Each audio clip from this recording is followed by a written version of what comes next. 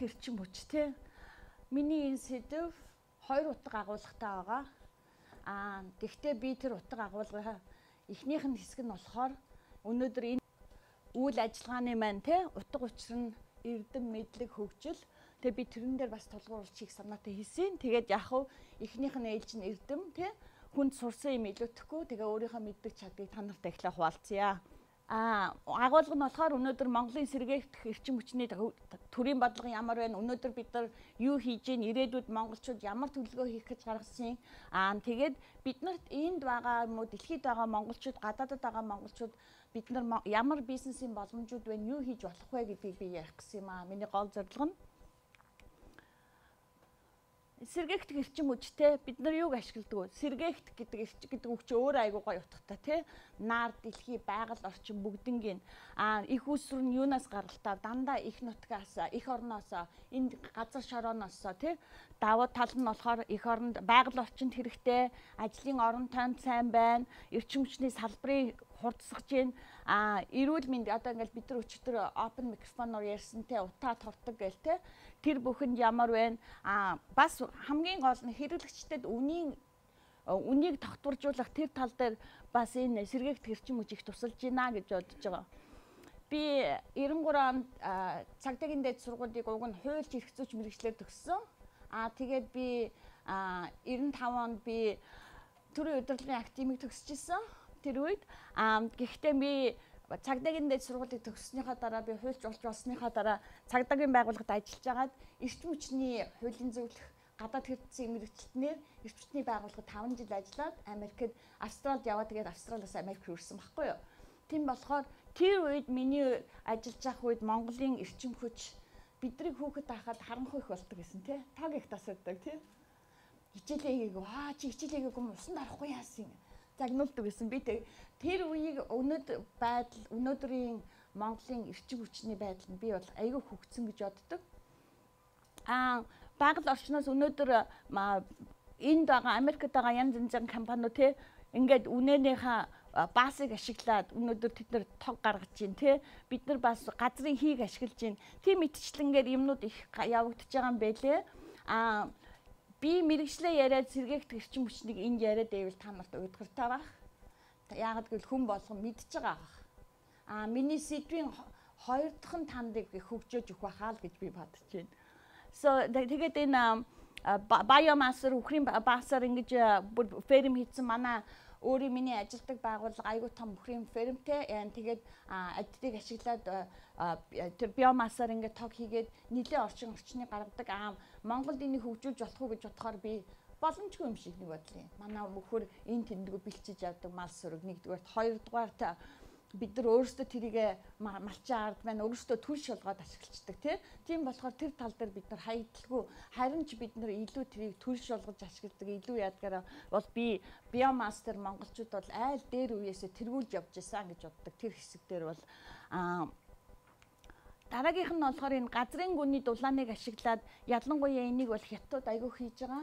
Газрын гүнээс гарч байгаа уурыг ашиглаад тэгээд тэрийг хөдөлгөөр шилжүүлээ цахилгаан гаргаж аваа. Тэгээд энэ нь бол яах вэ нөгөө нэг бусад цахилгаан, наран, салхины өрчим хүчийг бодох юм бол үн өртгийн хувьд, капитал хөрөнгийн хувьд бол хамаагүй бага зарталтай.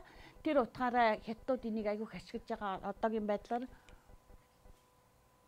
далайн гүнийхийг болохоор одоо энэ Америкийн, Канадын орчин, Мексикийн их ашиглаж байгаа. Яагаад гэхээр далайн давлгаа төрлөгийг ашиглаад юм судалгаа гаргасан байна л да. Тэгээ эдгээр ингэж байгаа байхгүй хэрвээ номхон далайн бүх хэрэг хаваар бид нар салхин хөдөлгөөр үүсгээд сал далайн салхийг ашиглаад нарыг ашиглаад тэгээд далайн гүний давлгааг ашиглах юм бол 2-3 сая мегаваттын хүчин чадалтай тийм тогийг гаргах чадвартай гэж судалгаагаар хийсэн байлээ. Тэгээд энэ нь бол хамгийн их газар доорх угаасаа автоматар хөдөлж байгаа эргэлтийг ашиглахад зардал бас тийм өндөр биш ээ. Яг газар дээрх байсан энэ бодвол гэж газрын гүний гаргад юм байлээ.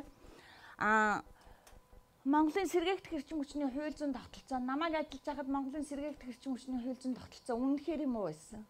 Би бол тэрэн дээр хуульч хүний хувьд бол нэлийн эмзэгэлдэг байсан. Тэгээд энэ сэдвийг хөндөж авсныхаа хувьд би бас нэг судалгаа хийсэн би 2000 1998 онд Америкт ирэхэд 2001 оны 2 сард манайхан хөтөлбөрөө гаргаад тэгээд 2007 онд эрчим хүч яг 2000 онд бид нар эрчим хүчний хууль байсан л да. Гэхдээ сэргээгдэх тал дээр нь 2007 онд гаргасан байгаа аахгүй юу? Тэгэхээр одоо сэргээгдэх эрчим хүч Монголд хэдэн жил хөгжсөн бэ? 10 жил хөгжсөн байна тий.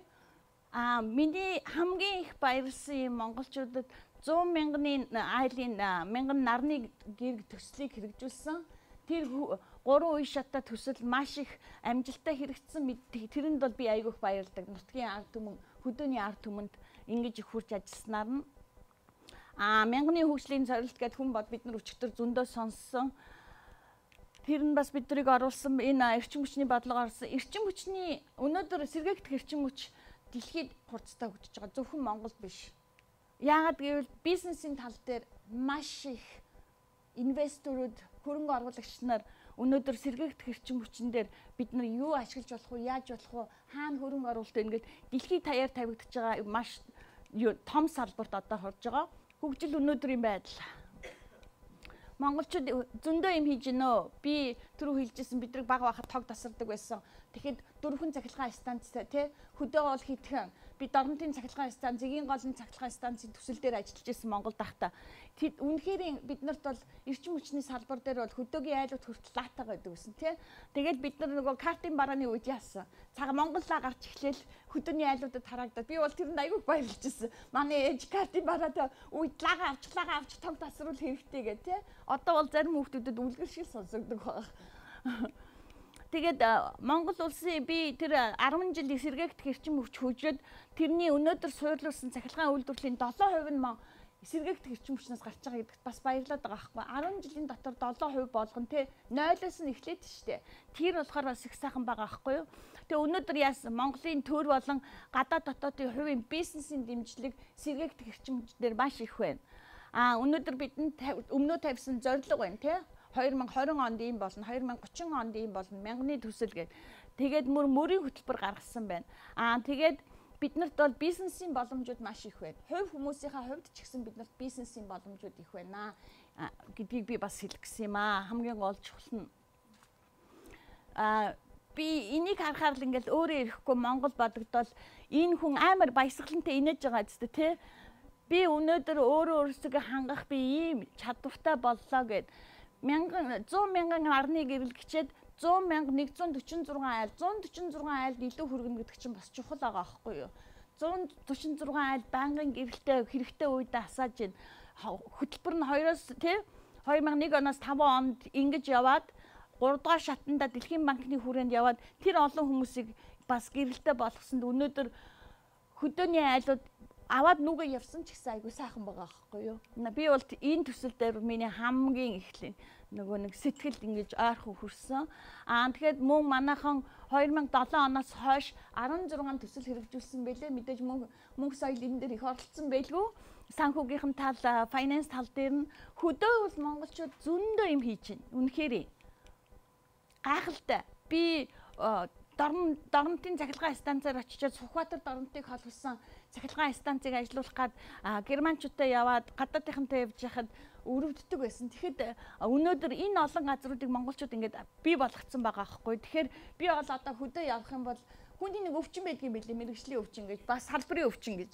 Мэрэгжлийн өвчин болохоор хэрэгтэй хэрэггүй юм интернетээр уншаад хууль судлаад идэг байхгүй юу?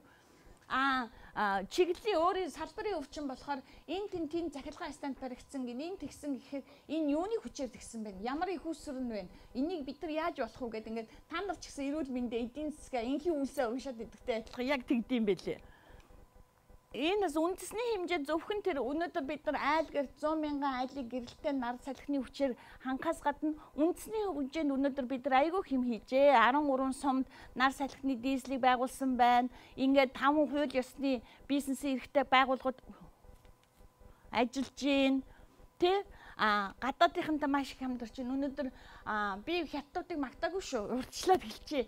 Хятад хятад л гэж байна. Гэхдээ үндсэндээ бас хятад Монголд их юм хийж өгч байна. А тэгвэл биднээс бид нар хэм авч байгаа тэр улсууд. Гэхдээ хариуд нь бас багч гисэн юм өгч чинь би бас тэрэнд нь баярлж байгаа. Өгөөтэй аваатай тий. Яг аваа нь илүү л ээж магадгүй. энэ том тайшрын усан цахилгаан станц намайг л дээр үед байхад бид нар судалгаа хийгээл энэ их боломжийн усан цахилгаан станц барихад гэж ярьжсэн. Тэрийг өнөөдөр бидний тухайн үед research эрдэм шинжилгээний ажил юм уу хүмүүс хийгээ явж ирсэн юмыг өнөөдөр ингээд бүтээгээд болгоцсонд би Монголд очихоор бүтэн сар очино. Очих очихдаа би хөдөөгөр явна. Усан цахилгаан станцуудынхаа нэрүүдийг газартаа би мэдээд авцсан. Би хэрэгээр зочилж очино гэж бодож байгаа. Би Шведэд би ABB-гийн усан цахилгаан станц дээр очижсэн. Би энд Германд Siemens жижижсэн. Энэ зөндөө усан цахилгаан станц янз янзын газруудаар очижсэн. Ямар цэвэрхэн. Би дөрөвдүгээр цахилгаан станц орчуулагч хийгээл хамартаа хөөнө ачихсан. 7 нүүрсэн нүүрсний дотор явж исэн те харьцуулахад өнөөдөр ямар байна гэдг нь шал өөр. Тийм болохоор би хэрэгээр зорж очиж тэрийг харъя гэж би бол юугаар би энэ сэдвийг бичхийн тулд би өнөөдөр э, сэргээгт хэрчим хүчийг харчаад би юугаар баярлсан гэхээр 10 жилийн дотор бид нар их юм хийжээ. Би та нараар бахархсан. Монголд байгаа хүмүүсээр бахархсан. Зөвхөн бид нар бид нар зөвхөн өнөөдөр те зүгээр нэг сураад яриад яваагүй байгаа байхгүй. Айгүй хэм хийцэн байгаа байхгүй зөв талаасаа. Энийг ингээд базаад ингээд өөрөө ингээд бичээ суухаар хүн хөөх бид нар чинь бас нойлоос өдөө утал явцсан юм биш тий. Гоё юм байлээ. Аа цаашдын гэрэлд ирээдүү те Монгол улс айгүй их нөөц байгаа зү. Бид нар 15 мянган терабайт цаг нарны нар сатхыг үйлдвэрлэх боломжтой гэж байгаа байхгүй юу? Бид нар дэлхийн эхний 15 орны нүүрсний нөөцийн жагсаалтанд ордог бол өнөөдөр бид нар сэргээгт хэрчим хүчээр заяа. Тэр хамтарсан 16 оны судалгаагаар гэж байгаа байхгүй дөнгөж саяхны судалгаагаар юусэн 15 мянган тераватт цаг гэдэг чинь бидний өөрсдийн хилгээр мэрэгжлийн хилээр бол айгүй нөгөө нэг биллионс миллионс гэдэг шиг айгүй том байхгүй юу. Тэр их асар имийг гаргана. Тэгээд би энэ дээр баярлсан гэхдээ айсан. Юу гэхээр энэ ойрын 10 жил Монголын говь нутаг нар салхины нөөцийг ашиглах дэлхийн хэмжээний маш том төв болно гэд. Сахарын цөлийг тийм болгох гэж германчууд маш олон жил ажиллаж байгаа Германчууд өнөөдөр бид нар усан цахилгаан станц битгийл, цөмийн цахилгаан станц битгийл, усан цахилгаан станц ямар нэгэн станцыг барина гэхэд германчууд асар их тэмцдэг. Тэрний эсрэг маш их үйл ажиллагаа явуулдаг. Тэгсэн хэрнээ өнөөдөр сахарын цөлд бид нар эрчим хүч бариад сахараас сахарын цөл барьсан тэр сэргээгт эрчим хүчээ дамжуулж өөрсдөө хангая гэж ярьдаг байхгүй юу. Тэгэхэд хэвээ Монголын тим болгочих юм бол Монголын гавийн тим болгочих юм бол бид нар байгалийн экологийн сайн ашиглахгүй бол бид нар унган нутаг говь яста нөгөө гоби десерт чинь байхгүй болно. Тэнд ажиллаж байгаа хүмүүс, тэнд амьдарч байгаа, бүтээж байгаа, тэр тавьж байгаа станцууд одоо цахилгаан хөдөлгөөр тавилаа л гэн дамны станцууд тавилаа л гэн тэр чинь тодорхой газар нутаг дээр явж чинь тэр хавь чинь бүслээр хаачихна. Тэр талаасаа би жоохон айсан. Аа гэхдээ энэ нөөцийг судлаад хийгээд гаргаад тавиад өгсөнд нь баярлсан бид нар хэрэгжүүлэх үгүй нь бидний асуудал. Монголчуудын асуудал, тийм ээ? Ингээд 2030 он хүртэл Монголын засгийн газар маш их төлөвлөгөө гаргасан байлээ. Тэгэхээр би бол цаашдыг бол гэрэлтэй гэгээтэй гэж харсан. Өнөөдөр бид нар ийм хувьсал хийсэн байна. Тэ өнөөдөр яг нэг улаан 21 оны хувьсгал шиг сэргээгт хэрчим хүчний хэмжээ 0 гэж байгаад би энэ төвшөнд очисон чинь 2030 он гэхэд бид нар яана гэсэн бэ? айгүй гоё юм ирсэн байгаа аахгүй юу? 23 гэхэд нийт нийт хэмжээний эрчим хүчний хангамжийн 20%. 30 он гэхэд 30%. Тэгээд эрчим хүчний алдагдлыг 10%-аар буруулнаа гэд. Би бол өчигдөр бадгалмаа шиг ярьж хахад тэр эрүүл мэндийн салбарын мөрийн хөтөлбөрийн тэр өгүүлбэрийг уншиж хахад би тоолсон чинь 47 үгтэй байлээ манай монголчууд нийлмэг нийлмэг өгүүлбэрийг хэрэгэлдэг. Тэгээд энийг би хараад энэ бол их товч бөгөөд тодорхой инженерүүд болохоор хар цагаа нэг нь шууд ялгаад бичсэн байна гэж бодсон. Голыг нь олоод. Аа сэргээгдэх хэрчим хүчний ирээдүйд дэлхийд даяар маш их Тэгээ би та нарт түрүү хэлжсэн. Одоогийн байгаа байдлууд боломжууд нь ямар байна? Тийм болохоор би боломж дээр нь тулгуурлчих. Аа бид нарт энэ өнөөдөр сэргээгт эрчим хүчний батарейнуудыг маш сайн байгуулах хэрэгтэй. Аа бид нарт өнөөдөр юу хэрэгтэй гэхээр технологийн хөгжлийг байнга ингэж урагшилж байгаа тэр төвшөнд гадаадынхантай маш их хамтарч ажиллах хэрэгтэй. Аа тэгээд мобил технологийн бүтээгдэхүүнийг бий болгох хэрэгтэй. Монголд хүмүүс байрныхаа мөнгийг өгөөд тавныхаа мөнгийг өгөөд явдаг.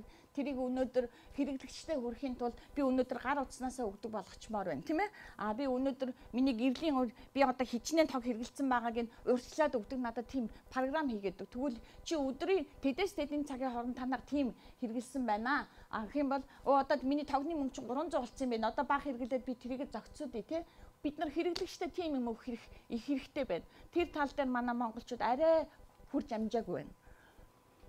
Аа тэгээд боловсролын тал дээр бол бид нар бас маш их хүнийг бэлтгэх хэрэгтэй. Сэргээгдэх эрчим хүчтэй. Зөвхөн зүгээр эрчим хүчний инженерүүд биш, сэргээгдэх эрчим хүч чинь цааш нь өөрөө цааш нь философи, цааш нь боловсролыг шаарддаг. Тэр тал дээр маш их хэрэгтэй байна.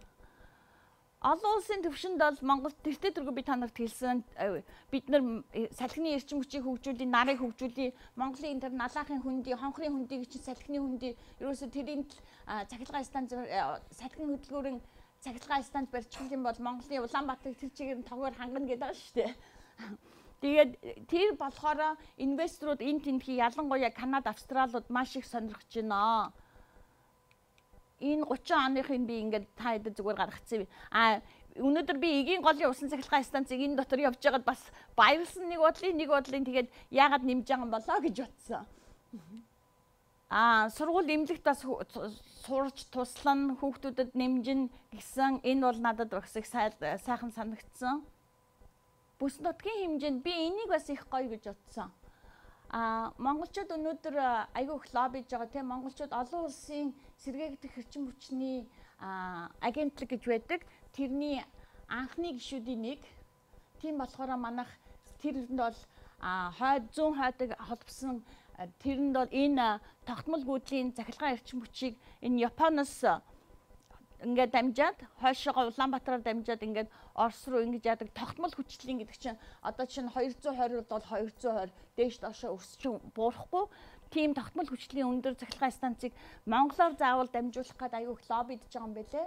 Аа тэгээд олон улсын Монголд олон улсын сэргээгт эрчим хүчний агентлагийн дарга энэ ушгаа энэ тал дээр маш их анхаарал тавьж байгаа. Тэгээд энэ хэрвээ хэрэгжих юм бол манай Монголд бас аюу ашигтай байхгүй юу? Яг гэвэл бид нар дамжин өнгөрч байгаа өндөр хүчлээс болгоноос майлажийн мөнгө авдаг байхгүй юу? Километрийн мөнгө. Зөвхөн тогныхаа мөнгийг биш, километрийнхаа мөнгө нөгөө явсан замынхаа мөнгийг тооцож авдаг байхгүй юу? Дэвшил тий өнөөдрийн бидний бас нөгөө 3 дахь урайлгын минь нэг дэвшил тий. Дэвшилд бидний оролцоо юу вэ нэ? Бид нар яаж болох? Хөрөнгө оруулалт хийж болж байна. Өнөөдөр энэ тэнд амьдарч байгаа мөнгөтэй төвөгтэй боловсралтай хүмүүс хөрөнгө оруулалт хийж болж байна. Гэхдээ зөвхөн хөрөнгө оруулалтыг материалын мөнгө талаас нь биш, оюуныхын талаас бид нар ямар хөрөнгө оруулалт хийж болох вэ? А бид нар хамтарч яаж ажиллах вэ? Тэ? А бизнесийн стратеги боловсруул өнөөдөр энэ өрөөнд сууж байгаа бүх олон энэ Монгол хүүхдүүд хүүхнүүд та нар болон энэ ир чадаагүй оролцох хүсэлтэй байгаа айгүй олон хүмүүс байгаа тий А бид нар бүгдээрээ салбар салбартаа айгүй бас мундаг ажил үйлс гаргах хийчихсэн зорьсон юм хийцэн. А тийм болохоор бүгдээрээ нийлээд чадвар чадлаараа одоо би энэ тал дээр эдийн засгийн тал дээр бизнесийн стратеги дээр тусланаа. Эн чинь 30 он гэхэд Монголд их гэж байгаа юм бол та нар эдийн засаг дээр энэ дээр анхаараарай. Тийм зөвлөгөө өгөх маягаар бид нар хамтын ажиллагаанд бид нар тус Монголд байгаа хүмүүстээ тусалж болно би Австралид сурж байхад Америк ч гэсэн сурж байхад та нар ч гэсэн мэдж байгаа student abroad study гэх тий.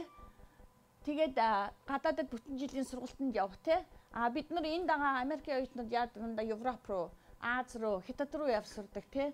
Энэ боловсролын салбарын хүн байна уу? Би боловсролын салбарын хүн байвал би Монгол одоо дээд сургуулиудыг оюутан солилцоогоор зөвхөн Монгол оюутнуудыгаа бишээ Зүгээр оюутан солилцооны тэр нь бүртгүүлчихээ манай Монгол улс. Тэгээд гадаа дотоод герман сурж байгаа оюутнуудыг abroad study хийгээд Монголд аваачаа. Тэр хүүхдүүд чинь дээд сургуулиудад их сургууль айгу тийм цөөхөн хүрээнд авдаг тий хүүхдүүдийг. Гэхдээ тэр талаар сурах юм бол Монголд тэр боломжийг нээх юм бол тэр хүн чинь буцаж ирэхдээ айгүй монгол сэтгэлгээтэй. Америкт Монголд байгаа гадаадынхын айгүй тийм монголцог болцсон байд юм билээ шүү дээ. Яг тийм болох боломжийг нь оюутан цагаас цагаас нь эхлээ бэлдэж өгөх юмсан гэж би бодоод байгаа байхгүй юу. Тэгээд энэ 6 том алхмыг гаргахад бид нар юу хэрэгтэй байна гэсэн а би тэр эрчим хүчний хэмнэлтийг те хэрэглэгчтэй химнэлтийг өгөө. Та нар ингэж химнэх юм бол ийм юмд хүрнэ. Мөнгө ингэж химнэ. Бид ингэж урамшуулт өгөө гэдэг тал дээр манай эрчим хүчний байгууллага ялангуяа Улаанбаатарын цахилгаан шүлжээ дулааны шүлжээнүүд хэрэн дээр жоохон анхаарч ажиллах хэрэгтэй болов уу гэж би өөрөө уншиж үзсэн харсан юмнаас бодсон. А эрчим хүчний батарейг одоо өнөөдөр нар салхич нь ундрашгүй. Гэхдээ нар өдөр гараа шүн байхгүй тийм ээ. Сар гарахад нөгөө нэг нармаа гэрэл маань батарей чи ажиллахгүй. Сэргээгт эрчим хүч одоо ажиллахгүй ш тог ирэхгүй. Тэгээ тэр үед энэ цуглуулсан батарейг батарей болгож хадгалаад яах вэ гэдэг монголчууд бас юм хийсэн байлээ л дээ хятадтай хамдраад батарей гаргаад тэрийгэ цуглуулад шөнийн цагаар оройн цагаар ашигладаг гэд бороотой өдрүүдэд яах вэ тэр тал дээр их жоохон төлхөө хөгжүүлэх хэрэгтэй мүү гэж би бас ажигласан. А а манай Монголд ухаалаг метр тогны метр э, системийг бас их суйрлуулах хэрэгтэй байна. А манай ажил smart grid smart meter гэдэг бүтэн ингээд бүх ингэдэг аахгүй. Тогны иш жошигч нь тэр байгууллагын өмч аахгүй. Миний өмч биш. Тийм ээ би чамайг тог өнөөдөр танаад түгээгж байгаа юм чинь тэр иш жошигч нь бол тэр байгууллага тэгээ манай байгууллага бүх эхний ээлжинд авсан ухаалаг тогнууд нь сүүлд нь жоохон ноото гээд бүгднгийн зүгээр хайсан байхгүй. Би бодчихсон. Хөөх энэ 500 мянган ч гэсэн авчид Монгол тавьчихсан. Эхний ээжнийх ч гэсэн тэнд очиод ажиллавал Яста сайханда үнгүй юм. Энэ яаж авчиж өгөв их батсан тэгээд эрчим хүчний хуучин хүмүүс рүү хид хид удаа битсэн тэгээд заримтай нь холбогдоо заримтай нь холбогдож чадаагүй.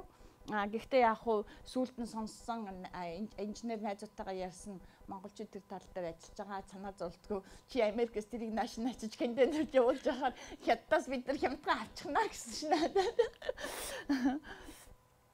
А Би бас тогны уулгаатай айгүй Монголд ахтаа ч гэсэн тэмцдэг байсан. Шонгоос шон татал манай монголч тий.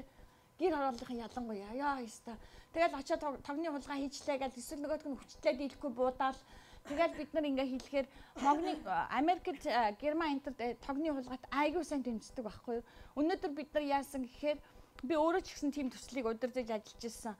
Хэрвээ өнөөдөр манай ингээд гараад тэг тогныг хинж байгаа ингээ айл болгоны биел дээр ирж байгаа а өө энэ айл 660-ыг хэрэгэлдэг байсан чинь 3200 болцсон байх юм. Яасан бол гээд тэгээ хэрвээ тэр нь өсөж байх юм бол за эн чинь ямар нэг юм болохгүй юм гээд тэгээд ингээд хүн явуулаад гэсэн чинь тэр нэг түүх эмгэн ирж уулзж байгаа байхгүй. Миний таг нэг 60 доллар гардаг байсан чинь 200 хэдэн доллар болчлаа гэд үтсэн чинь цаатлынхын айл нь тогныхоо мөнгийг төглөөгөө бид нар дээгүүрийн шонгийнх нь модон дээгүүр газар доогуур гэх нэг хоёр системтэй л дээ задлсан чинь шонгийнх нь модноос эмээгийнхаас ингээд нөгөө нэг утас татаад маяг Монгол арга шиг Тэгээд эмээгийн тогийг хулгайлцсан. Эмээ мэдхгүй тэтгэвртэй гарцсан чи хөөх юмтай яагаад би одоо хэрэгэлдэг юм адилхан л ингээд яг тэрнтэй адилхан Монгол тогны углагаа их.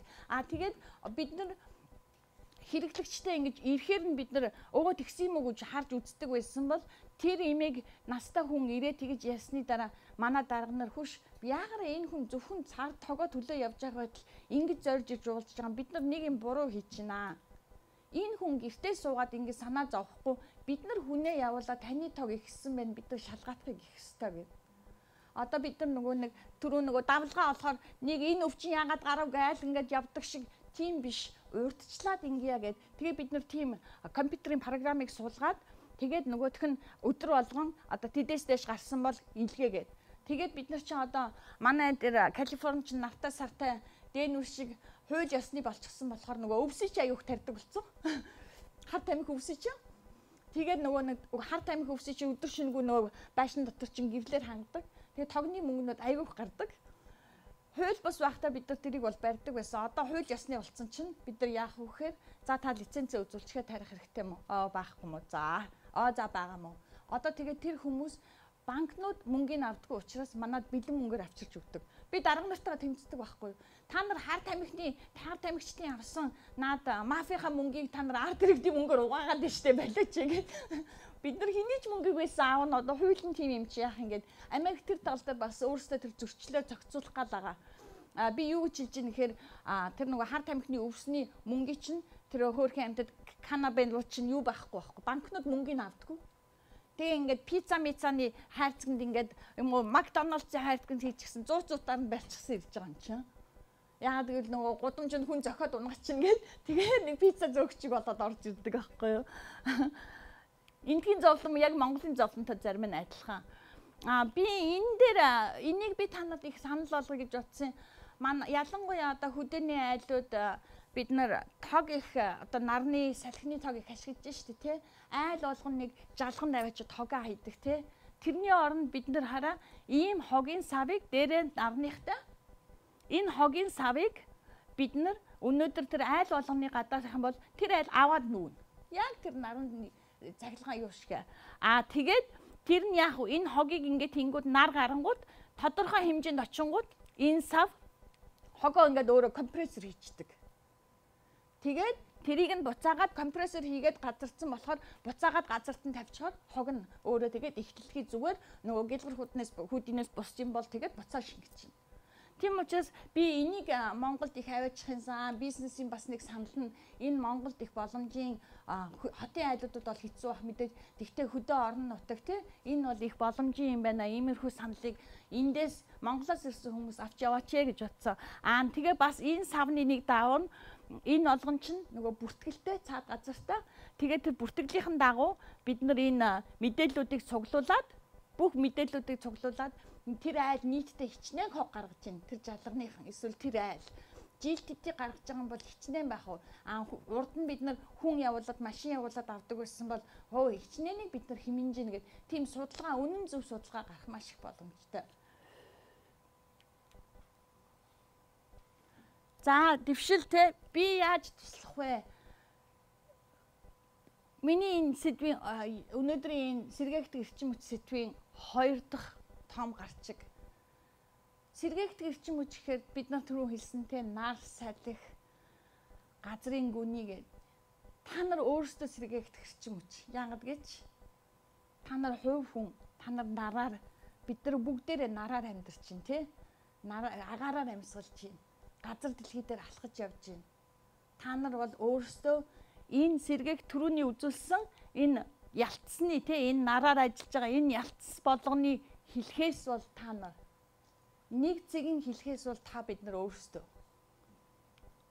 Тэгэхээр өнөөдөр би зүгээр манай Монгол 0 сэргээгт эрчимч 0-оос яваад өнөөдөр ийм төвшөнд хүрээд дахиад их зориг байна. Би юугаар тусалж чадах вэ те өнөөдөр миний би баг багаар ч гэсэн мэдлэгээ нэмэгдүүлж явж байгаа. Би энийг өөртөө их хэлэх дуртай л да. Амьдрал хүн өөрийгөө олдгоо харин өөрийгөө бүтээдэг тий. Тийм учраас бид нар өнөөдөр өөрийгөө засаад гэрээн засаад өнөөдөр улс төрд оролцоод явна гэдэгтэйгээ адилхан бид нар өнөөдөр өөрөө өөрсдийнхөө олсон мэдлэгийг хуваалцъя, нэмэгдүүлье, хоорондоо солилцъё, хамтран ажиллая гэсэн.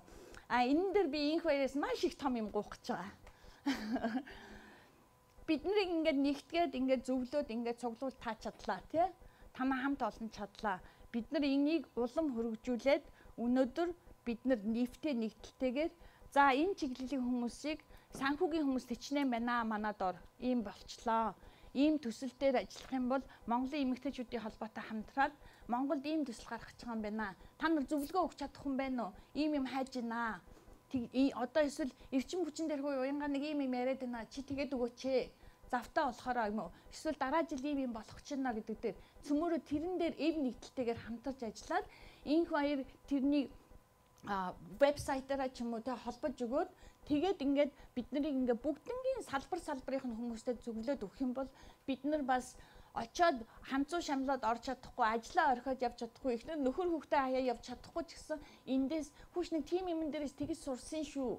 Гэхдээ наа чин тим юм шиг байна. Тэр компаниг уншсан чи ятгнаа л англи хэл дээр нь герман хэл дээр нь солонгос хэл дээр нь уншиж өгөөд нийлээд ажлууд бид нар юм бүтээж болно тий сэргээгт хийж их орноо сэргээж болох юм байна гэсэн. Аа тэгээд би юугаар туслах вэ би тэр тал дээр хамтарч ажиллая туслая. Өнөөдөр бидний зорилго тий хамгийн утга учир нь надад энэ эссэн. Хөгжлийн гарцыг хамтаа гаргацгаа гэ тий. Аа тэгээд би яг уу а энэ илтгэл тавьж байгаа хүүхдүүдийг харсан л да. Тэгээд та нар өөрсдөө сонирхороо. Тэгээд үн зүйлсээ гэдэг чинь миний хувьд хувь хүн те цагаа зориулсан танд баярлалаа. А нэгдмэл байдлаараа бид нийлээд нарийн зөв дүгнэлт гаргаад Монгол газартай зорилгын үрийг тарьж өнөөгийн ажил хэрэгч Монгол эмэгтэйчүүд бид олсон зөв мэдээлэлээ бусдаа хуваалцаж үлсэн сайхан Улаанбаатартай тулгамдж буй асуудлыг олон нийтийн инновацийн моделийн хүчээр шийдэгдэн туслая. Мантахаа хатан ээлжгээ эрүүл амьдрах ухааныг дэлгэрүүлье. Эмэгтэйчүүдийн улс төрийн эрх чөлөө хөгжүүлье. Инхийн үлсийг бүгдээрээ бүтээе гэж байна. бид зам олох болно те эсвэл бид нар олохгүй бол бид нар өөрсдийнхөө замыг гаргана. Тэгээ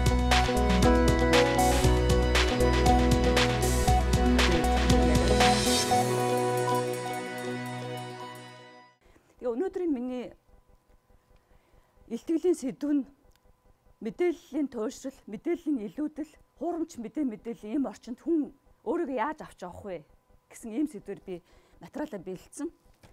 Сүүлийн 10 гаруй жилийн дотор одоо технологийн хөгжил өсрөнгөө хөгжөөд мэдээ гэж юу юм бэ гэдгийг тодорхойлоход айгүй хэцүү болсон. Хүн болгон өөр өөр нэгсэн тодорхойлттой. 1997 онд Монголд анх интернет ороход би Datacom компанид ажиллаж исэн.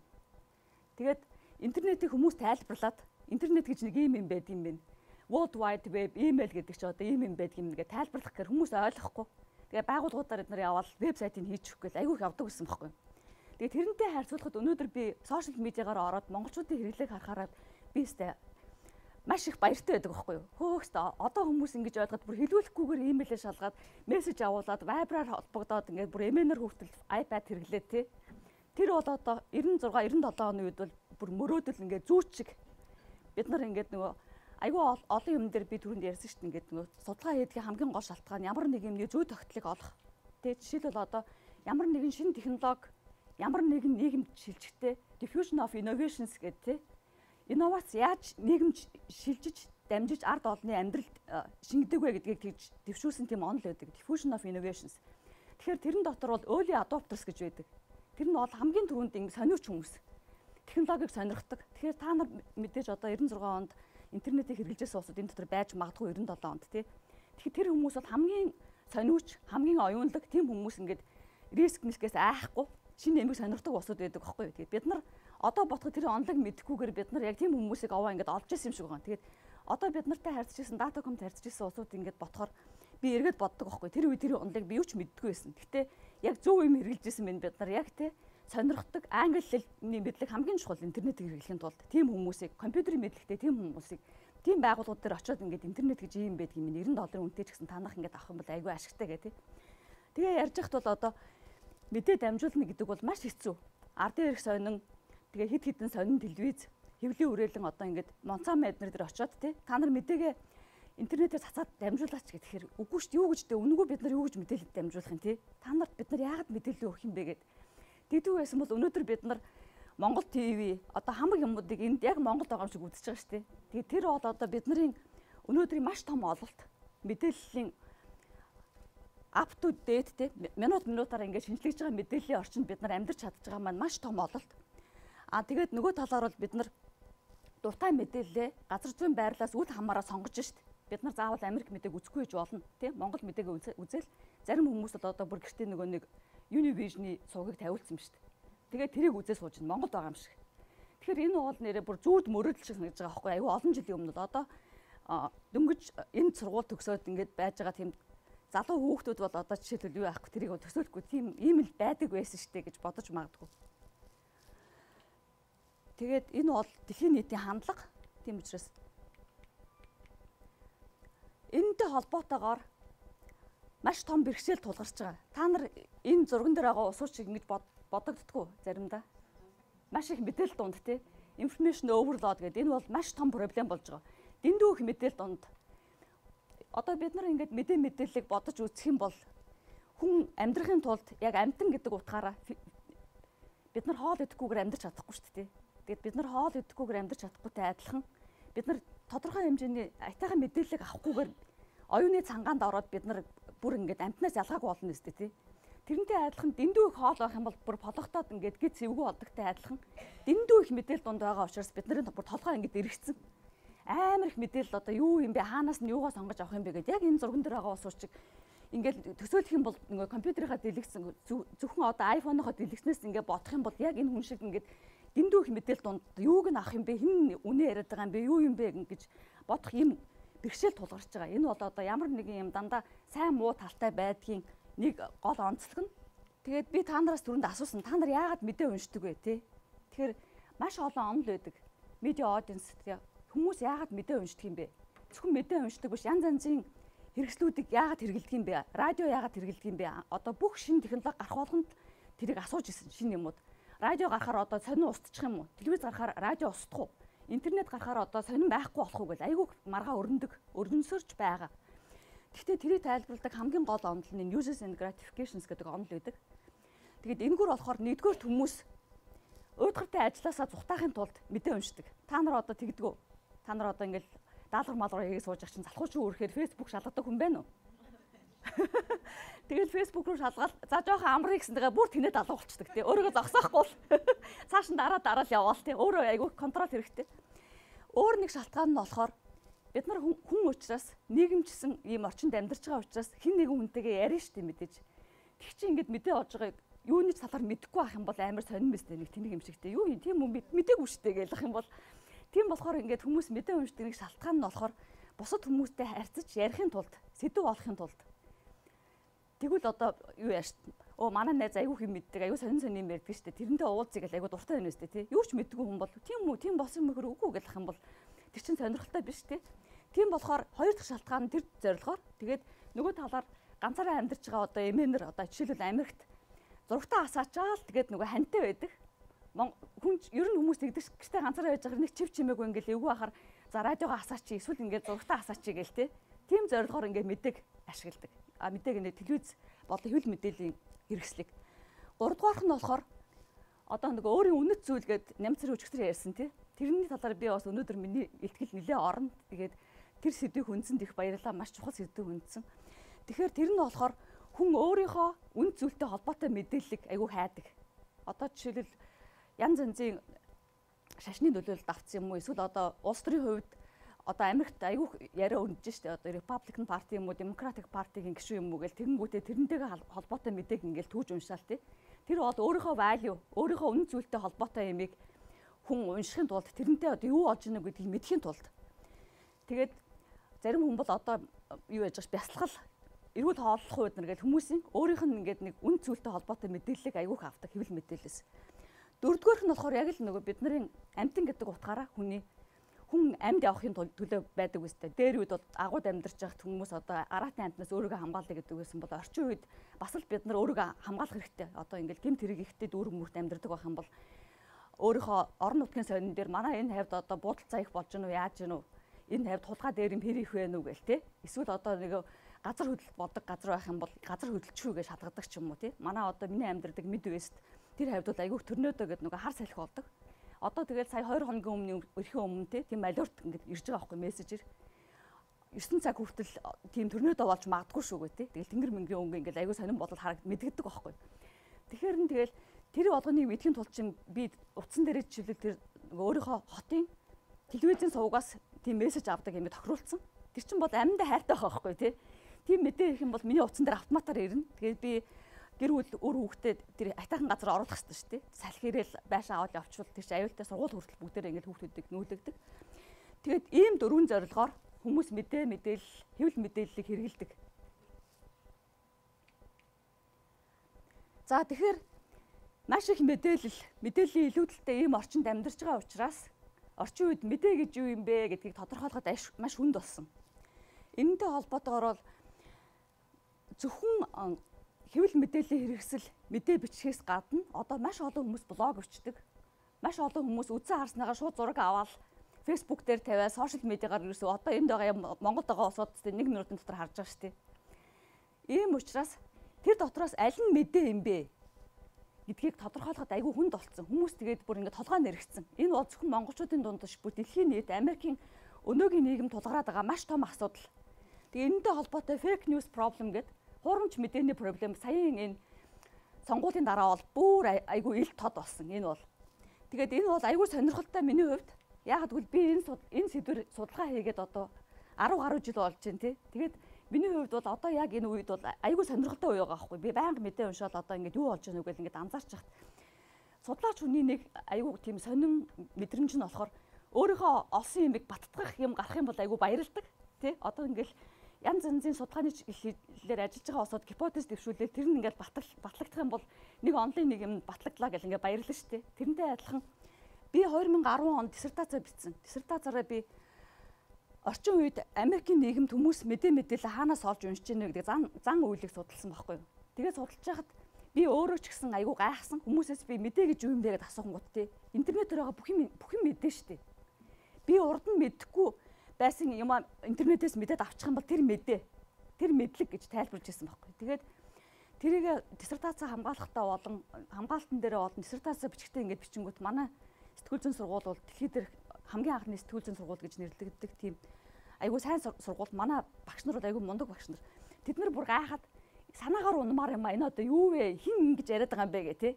Намайг баг худлаа юм бичсэн юм шиг л баг тэ. Үгүй ээ эн чинь яг хүмүүсийн ингээд интервьюнаас авсан мэдээлэл гэх тэгэнгүүт чинь яана ямар сони юм бэ? Тэгж хэлээд тахтай яад ингээд. Ялангуяа сэтгүүлчд өөрсдөө бол бид нарын бичсэн мэдээлэл араа үнэнд ойр ойр тэр л мэдээ гэж үзэн шүү дээ. Өөр хүн блогийн блог бичиж байгаа хүмүүс одоо хин нэгэн дуртай хүний аваа тавьсан мэдээг бол бас мэдээ гэж үзэхгүй айгу хай критеригаар үзэн шүү дээ. Хүн болгоны ингээд үнлэмж өөр, мэрэгжлийн онцлог гэж бас өөр. Тэ хүн энэ өрөөнд сууж байгаа хүн болгон өөр өөрийнхөө мэрэгжлийн хувьд бол эксперт. Тэгэхээр та нарын ингээд мэддэг юмны талаар ярих юм бол миний ярьж байгаа юм бол бистэй нэр өө тэр чинь тэр биш дээ гэж шүү дээ. Тэрнтэй адилхан мэдээний талаар яг тийм ойлголт гарсан байхгүй юу. Тэгээд сая ингээд нөгөө юуны Дональд Трампын элекшний дараа фейк ньюсийн проблемаас болоод Хиллари Клинтон ялагдсан одоо ингээл Америкийн нийгэм хитрхийх туйлшралд орцсон ийм ингээд орчинд бол фейк ньюс хуурамч мэдээ айгүйх өөрөг гүйцэтгсэн айгүйх баримт байгаа. Тэгэхээр тэр үед би юу гэж утсан бэхээр 2010 онд миний олж исэн проблем те тэр үед би тэгээд одоо нөгөө нэг диссертац бичгэд бичдэг байхгүй юу. Одоо цаашдаа олсон юмнасаа таны discussion suggestion юу хийх ёстой юм бэ гэдгийг юу бичих юм бэ гэдэг дээрээ би яг энэ бол айгүй том проблем гэж биччихсэн байхгүй юу. Гэхдээ би фейк ньюс гэдэг юм гарна гэж би тэгж тодорхойлж бичээгүй. Гэхдээ энэ бол маш том проблем. Маш том асуудал. Хүмүүс мэдээ гэж юу юм бэ гэдгийг ингээд ялгах чадваргүй болно гэдэг бол маш аюултай гэж тэгж бичижсэн маань ингээд яг батлагж байгааг нь харахаар аюул сонин санагддаг. Тэгээд энэ бол одоо хэдэн слайд оруулсан та нар энэ талаар нэлээд сонсон байх гэж бодож байна тий. Одоо ингээл ерөөсөө интернетээр та нар хайгаал гол гол хэвлэл мэдээллийг ингээл унших юм бол ерөөсөө фейк ньюс фейк ньюсийн талаар өстэй бүх энэ тэмдгүү байгаа бүр дэндүүх мэдээлэл байгаа. Одоо ингээд Facebook те Марк Закерберг ингээд сошиал медиагийнхан янз янзын Google-ийн эднэр ингээд маш их проблемд орж байгаа. Энэ нь болохоор та нар э, мэдээ мэдээ мэдээ сонссон байх гэж бодож байна. Гэхдээ боддоо Жоржиагийн оюутан те нөгөө гүржийн оюутан мөнгө олохын тулд хуурамчаар мэдээ тавиад вебсайт бүртгүүлээд тэгээд тэрэн дээрээ янз янзын одоо Америкийн сонгуульд өрсөлдөж байгаа улсуудын талаар тест хийж үзсэн байгаа байхгүй. Бөрни Сандерсын тухай бичээд, Хиллари Клинтоны тухай бичээд тэгээд нөгөө клик авдагч хүмүүс чинь те төдөн клик авсан, төдөн лайк авсан гэдэг. Тэгэхээр тэр хэдэн клик авч байгаагаас хамаарат Google-ийн нөгөө рекламны модель ажилладаг байхгүй юу? Тэргүүр мөнгө авдаг. Манай монголч гэсэн айгүй тийм сайтууд байт юм билээ. Тэгэхээр тэр хүн айгүй юу байгаа юу? Ухаантай байгаа байхгүй тэр залуу бас мөнгө олох талаараа. Тэгэнгүүтээ Трампын талаар бичээд гисэн ч гэсэн айгүй олон хүмүүс лайк хийгээд харна. Тэр чинь тест бүр хүмүүсийн аргыг олж байгаа байхгүй юу? Айгүй тийм сонирхол татсан гарчигтай тийм мэдээнүүд тавиад тэгээд ангууд чинь нөгөө вебсайт руу олон клик аваад тэр оюутан болохоор 6000 гаруй доллар авсан байгаа байхгүй юу? Бүр Нью-Йорк Таймс дээр айгүй том тийм артикл гарсан. Нөгөө fake news factory, fake news sausage factory гэсэн гарчигтай. Тэгээд тэрийг бүр процессор нь ингээд яагаад энэ fake news тарсан бэ гэдгийг ингээд судалсан байгаа байхгүй? Асуугаад яагаад олсон юм болс ингээд Тэгээд энэтэй холбоотой энэ э, технологийн компаниуд хүртэл айгүй юунд э, асуудалд орж байгаа одоо эднээс бид нар зөвхөн мэдээлэл түгээдэг юм байгууллага бид нар одоо ингээд сонгуульд бидний үр нөлөө гэж байхгүй эднэр гэдсэн чи одоо эднэр бол арга хэмжээ авч байгаа. Одоо бүр химэл оюун ухааныг хүртэл ашиглах тийм асуудал яригдж байгаа. Google, Facebook эднэр тий хүн тэрийг fact checkers гэдэг юм Америкт би анх удаага энэ удаагийн сонгуулиар тийм юм сонссон. Урд нь бол тийм дээ баримттай байна уу үгүй байна уу гэдгийг шалгадаг тийм юм ерөөсөө баг байгаагүй. Тэгж яах чи одоо ингээд сая сонгуулийн үеэр хоёр өрсөлдөгч халз маргаа явуулж явах үед шууд NPR, CNN томоохон байгууллагууд шууд ерөөсөө тэдний ярьж байгаа юм синхронны транскриптийн тавиал хажууд нь факт чекрүүд экспертүүд шууд энэ худлаа ярьж ин энэ төдөө он тэгж хэлээгүй байх ингэсэн байна гэл те шууд баримт газар дээр нь шалгасан байхгүй. Урд нь тийм явагддаггүй байсан. Яагаад гэвэл ийм фейк ньюс гэдэг ийм проблем бараг байгаагүй. Одоо тэгэхээр технологийн хувьд авч үзэх юм бол мэдээж те факт чек гэдэг чинь хэдэн хүмүүс ингээд мэдлэгтэй улсуудын тоо хязгаарлагдмал тэрийг ингээд хурдан тайлбарлаад хэн худлаа энэ хэн үнэн бэ гэдгийг шалгах гэдэг бол ийм хурдтай явж байгаа мэдээллийн орчинд тэрийг бол нөгөө нэг гүйцэж авах нь хэцүү шттэ тий. Тийм учраас хиймэл оюун ухааныг ашиглах тийм процесс явагдаж байгаа. Хиймэл оюун ухаанаар natural language processing гэж байдаг.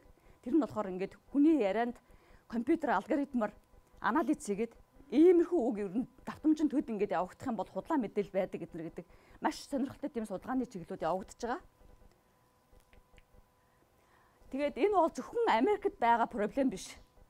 Одоо ингээд би одоо зааж байгаа хичээл дээр хүүхдүүдээр юу яаж байгаа байхгүй юу? Fake news detection system бүтээх тийм даалгавар өгсөн байгаа. Миний оюутнууд одоо тийм дээр ажиллаж байгаа. Тэгээд тэд нарт тэд нартай ингээд ажиллаж байхад бол ингээд айгүй олон яг фейк ньюстэй холбоотой юу болж байна хурамч мэдээлэл яаж тарж байна уу ямар проблем ямар механизмаар тэрийг засах уу гэдэг тийм юм хэлж байгаа байхгүй би. Тэгээд саяхан энийг олсон. Энэ дээр хаарда Чех, Герман эднэрт одоо болох байгаа сонгуульд тийм аюул бас тулгарх гэж байгаа байхгүй юу. Тэгэхээр одоо хардаа Америкт байгаа сонгуулийн үр дүнд Оросууд нөлөөлж байна. Чех, Германд болж байгаа сонгуульд бас Оросуудын хакерууд нөлөөлнө эднэр гэд ингээд бодохоор чинь бид нар ингээд өөрсдөө Монголыгоо бодъё гэх юм бол манай national security үндэсний аюулгүй байдал монголчуудын ямар мэдээлэл хаанаас авах уу гэдэг бол маш чухал байгаа байхгүй юу. Одоо эн чинь хаанаас чинч ингээ удирдах чадхаар байгаа байхгүй юу. Хин нэг улсад очиод төвсгөлийг тэнд нь ингээ биеэрээ удирдах биш, зэрэгээ оруулах биш. Ерөөсөө мэдээллийн дайн явагдаж байна одоо. Тэгэхээр хүн иргэд өөрсдөө ухаантай протектив тийм байхгүй ах юм бол бүр ийм Америк Америк гэдэг ийм ардчлалын ийм том гүрэн ийм проблемд ороод одоо тэгээд Европын орнууд ийм юмнаас өрчсөн сэргийлэх ийм асуудал эргэж гин гэдэг бол маш ноцтой асуудал. Энэ он одоо хараа Германы сонгуулийн талаар. Тэгээ өөр нэг анзаарсан маш сони юм болохоор 2001 онд би одоо мастерын thesis гэж нэрлэдэг дипломын ажлаа эднэр бичиж хахад problem statement гэж байдаг тий. Ямар нэгэн судалгаа хийхэд тулд ямар нэгэн проблемыг олоод тэр нь шийдэл олох хэрэгтэй гэдэг тэр утгаараа айгүй олон сонио хаагдчихсан байхгүй. Тэгээд би айгүй олон презентацийн тавихтаа баахан олон хуучин ингээ сонингоо тараадаг юунууд байдаг ш зардаг юм нөгөө мухлаг шиг гудамжинд байдаг тийм юмнуудыг овоолцсон.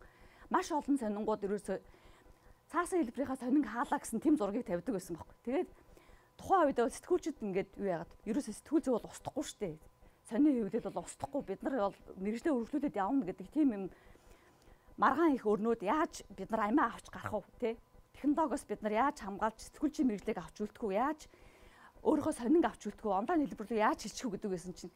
Одоогийн энэ фейк ньюс хурамч мэдээтэй холбоотойгоор ингээд та нар реклам харах юм бол айгүй сонин. Одоо ингэж байгаа байхгүй юу? Хурамч мэдээлэл тарж байгаа энэ үед манай уншигчид бидний жинхэнэ ньюс рум сонины өрөө сонины редакцид шалгаж баталгаажуулсан тийм мэдээллийг манай сониноос уншнаа гэсэн тийм зарлал сонин сонингууд хизээч өөрсдийнхээ талаар тэгж реклам хийдгүйсэн урд нь. Одоо сая болсон Оскарын үеэр те Нью-Йорк Таймс бүр рекламаа явуулсан. Та нар үзсэн үү? Нью-Йорк Таймс рекламаа явуулсан. Тэр нь болохоор яг төрөв бид нар үннийг мэдээлнэ гэдгийг. Тэ? Тэгж байгаа үстэй тий сонин хэвлэл бол өөрөөсөө мэдээллээр өөрөө өөрөө рекламын талбар болдог байгууллага.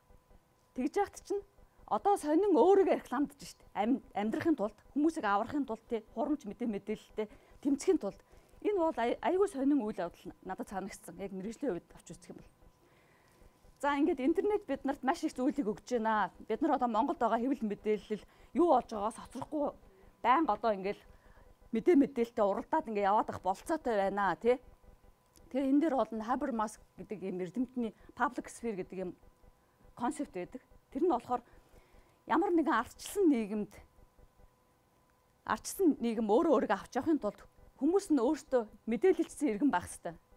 Аа тэгээд мэдээлэлцсэн иргэн байхын тулд санал бодлоо чөлөөтэй солилцдог байх хэрэгтэй.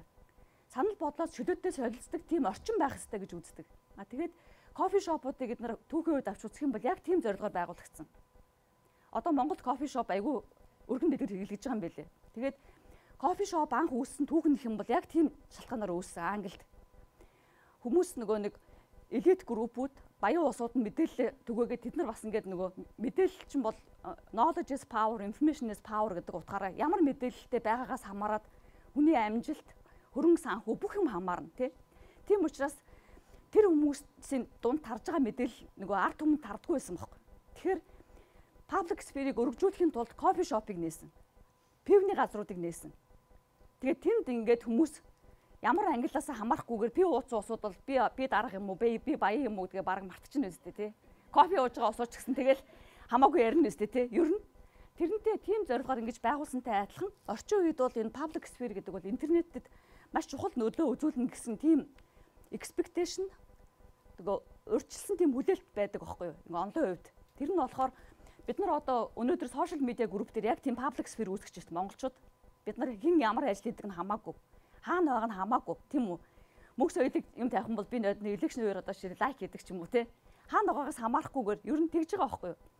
Тэгэхээр тэр чинь бол тодорхой хэмжээнд бид нар нөгөө Монголд байгаа янз бүрийн асуудлуудад бид нар саналаа өгөх болцоотой болж байгаа байхгүй юу? Бид нар хэдэн хүн лайк хийж гэнэ гэдгээс хамаарат энэ улс төрч хэр их рейтинтэй гэдэг нь тодорхойж болно шүү дээ. Тийм учраас энэ бол public sphere Тэгээд энэнд бол сошиал медиа, ньюс сайтууд, комментууд аягүй хүчдэг ч монголчууд. Тэр коммент чинь бас энэний нэг хэлбэр, виртуал хэлбэрээр. Энэ бол ингээ сайн тал нь интернетийн. А гэтэл муу тал нь болохоор маш их алгоритмаар зохицуулагдсан ийм нийгэмд нөгөө талаар хүмүүс өөрөө өөрсдөө мэдээлэлээ сонгох тийм болцоотой болцсон учраас бид нар зөвхөн өөртөө хэрэгтэй мэдээллийг сонгоод тэгэхээр ингээд өөр өөрийн бөмбөлгөн дотор амьдрах тийм аюул тулгарч байгаа байхгүй юу? Тэгээд энийг бол энэ нь болохоор хүмүүс мэдээл жинхэнэ мэдээг сонирхох сонирхол нь маш буурч байна. А айгүй олон тийм жижиг жижиг группүүдэд хуваагдж байна. Ингээд энэ Харвардын профессор Санстен гэдэг ийм эрдэмтэн байдаг. Энэ Republic 2.0 гэдэг ном бичсэн. Энэ эрдэмтэн анх энэ polarization of viewpoints in echo chambers гэдэг. Одоо цууратад нэг өрөөнд ингээд бид нар хэд хэдэн өрөөнд чоронгийн өрөөнд юм уу эсвэл янз янзын өрөөнд ингээд хүмүүсийг орчих юм бол бид нар хичнээн чашгараад энэ өрөөнөөс гарч чадахгүй шүү дээ. Энэ л цууратна. Тэрнтэй айлхан echo chambers гэж энийг нэрэлсэн. Тэгээд энэ онл нь онл юм уу энэ концепт нь бол орчин үед болж байгаа энэ асуудлуудыг айгүйх тайлбарлаж байгаа. Энийг өөрөөр information cocoons, filter bubble гэж нэрлэж нэрлэж байгаа. Тэгээд энэ filter bubble гэдэг номыг уншсан хүн байна уу? Энэ номыг та нар та нар их сонирхож үзээрэй. Энэ айгүй сонирхолтой ном. Одоо энэ яг тэр фильтр баблын талаар тайлбарсан Эли Парисер гэдэг энэ хүний ном. Саяын сонгуулийн дараа маш их мэдээ явсан. Энэ Парисертэй хийсэн хүртэл ярилцлага байсан. Энэ нь болохоор бид нар одоо Google дээр юм хайчаад дараа нь та нар Facebook дээр орохоор та нарын хайсан юмтай чи холбоотой мэдээлэл гарахыг анзаарсан хүн байна уу? Яг тэгж байгаа үстэй. Та нарыг ингээд бүр өөрөөс ч хэдэ судлаад байгаа үстэй. Би одоо зүгээр л мэрэгжлийнхаа ямиг хайж байгаа л заримдаа нэг Монгол сайт руу эднэр ингээд орж үздэг байхгүй юу? Тэгэхээр чи миний холбоотой би eye tracking гэдэг нөгөө eye tracking гэдэг нөгөө тийм түүл байдаг. Тэргүүр ингээд хүний information behavior-ыг нүднийх нь хөдөлгөөнөөр судалдаг тийм түүл байдаг байхгүй юу? Тэрийг би лабда авах гээд судалгаа хийсэн байхгүй 6 сарын турш. Банк тэрийг хайсан. Аль фирмийн, аль компанийн eye tracking түүл хэрэгтэй байна уу гэд. Тэгж байгаа чи Монголын киноны вебсайтн дээр оронгууд надад тэр eye tracking-ийн юу гарч иж байгаа байхгүй реклам. Тэгэхээр чи бүр өстөн дээр гайхалтай байгаа сте. Тэ? Тэр тэр нь болохоор юу вэ гэхээр яг энэ номыг унших юм бол та нар мэднэ. Одоо Google эднэр бол тийм past behavior based research гэж нэрлэдэг. Тэгээ тэр нь болохоор Google дээр ямар keyword-ээр хайснаас чинь шууд тэрийг чинь дараагийн алхмын чинь тодорхойлоод явуулдаг байхгүй. Тэр нь ямар шалтгаан бэ гэхээр бас л мөнгөтэй холбоотой. Тэр байгууллагууд рекламаараа мөнгө олохын тулд тэр рекламын систем нь бид нарыг бүр тийм амар судлаад биднээс өөрсдөөс маань илүү судалсан. Тэгэхээр айгүй аюултай. Ялангуяа ажлынхаа компьютер дээр бид нар янз янзын сөрч их юм бол тий дараагийн хүн гараад ирэх чинь нөгөө юм нөгөө нэг хайжирсан юмар ч бид нар гарна шүү дээ. Одоо аюултай сэдвэр юм хайх юм бол айгүй аюултай. Браузер браузер history яа устгах тий өөрийгөө тэгж хамгаалах тийм юм сурахгүй бол энэ бол айгүй том проблем болж байгаа. За тэгээд энэ фильтр бабл энэ бөмбөлгийн аюул юун дээр мэдгдсэн бэ гэхээр саяын Америкт болсон сонгуул 100 болсон Brexit. Тэгээд одоо энэтэй холбоотой cultural bubble зөвхөн politically биш. Ерөөсө бидний мэдээллийн орчин ингээд бөмбөлгөнд Сая сонгуулийн дараа маш их мэдээлэл явсан. Энэ дэр би нэг 2 3 слайд оруулсан та нар сонирхолтой авах гэж бодод. Энэ болохоор шууд одоо нөгөө filter bubble гэдэг тэр төрм нэр томьёог шууд хэрэгжилж байгаа. Энэ Washington Post-ийн Washington Post тэгж байгаа байхгүй юу? Facebook might be most powerful platform to for filter bubble гэдэг шууд. Тэгээд энэ артиклийг унших юм бол яг ямар шалтгаанаар энэ болохоор нөгөө Starbucks их байсан. Starbucks гэдэг компани нөгөө Melania Trump э, юуны Трампын бизнесийг эсэргүүцээд иммиграшнтэй холбоотойгоор аюу хөдөлгөөн өрнүүлсэн шүү дээ. Тэрнтэй холбоотойгоор Starbucks-ын тал тэм бэ нү? Трампын тал тэм бэ нү? Эсрэг нь тэм бэ нү гэдгийг ингээд фильтр баблайн анализ хийсэн байгаа байхгүй энэ судал. Энэ нэг бас аюу сонирхолтой. Та нар Modern Family-г үздэг хүн байна уу?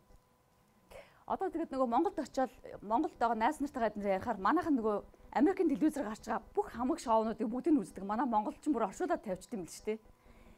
Тэгээд миний нэг анзаарсан юм болохоор яг тэр үнэн зүйлтэй холбоотойгоор мэдээллийн дархлаа гэдэгтэй холбоотойгоор би тэр талаар айгүй эмзэг хүлээж авдаг байхгүй юу. Яагаад гэхээр манай монголчууд айгүй сониучсан зантай. Тэгээ бид нар одоо өөрсдийнхөө үнэн зүйлийг яг тодорхойлж сайн чадахгүй байх шүү дээ. Ер нь бол яг үнэн зүйл юу юм бэ гэдээ би энэ талаар айгүйх боддог. Ягаад гэвэл би хүүхдүүдэд энд өсгөж байгаа тий. Тэгээ Монгол хүн гэдэг тэр дархлааг нь бас авч үлдэх айгүй чухал. Тийм болохоор ямар мэдээлэл уншиж гинүү, ямар мэдээлэлээр тархиад хижээж гинүү гэдгээс чи айгүй хамаарч түн. Тэгэхээр чи манайхан ингээд шуурал одоо Sex and City үзээгүй эмэгтэй баг Монгол одоо охтууд бүгдээрээ үзсэн гэдэг ч байгаа. Грейс Anatomy үздэггүйхээр үздэг, Modern Family үздэггүйхээр үздэг. Өө тэр чин бүр орчуулсан байгаа шүү дээ гэдэг тэгж байгаа байхгүй тий. Тэгж байгаа чи Америк ээж аав нар бол маш их анхааралтай ханддаг хүүхдээ юу үзэж гинүү ямар мэдээлэл вэ цаана юу вэ гэдгийг боддог. Тэгээ би одоо 10 жил сурч ирсэнэ боддог байхгүй юу? Уран зохиолын хичээл дээр бид нар та нар уран зохиолын хичээлийг санах юм бол та нар санаж гинүү? Юм уншингуудаа бид нар утга агуулга, үзэл санаа гэд бичдэг байсан санаж гинүү? Тийм анализ хийдэг байсан те.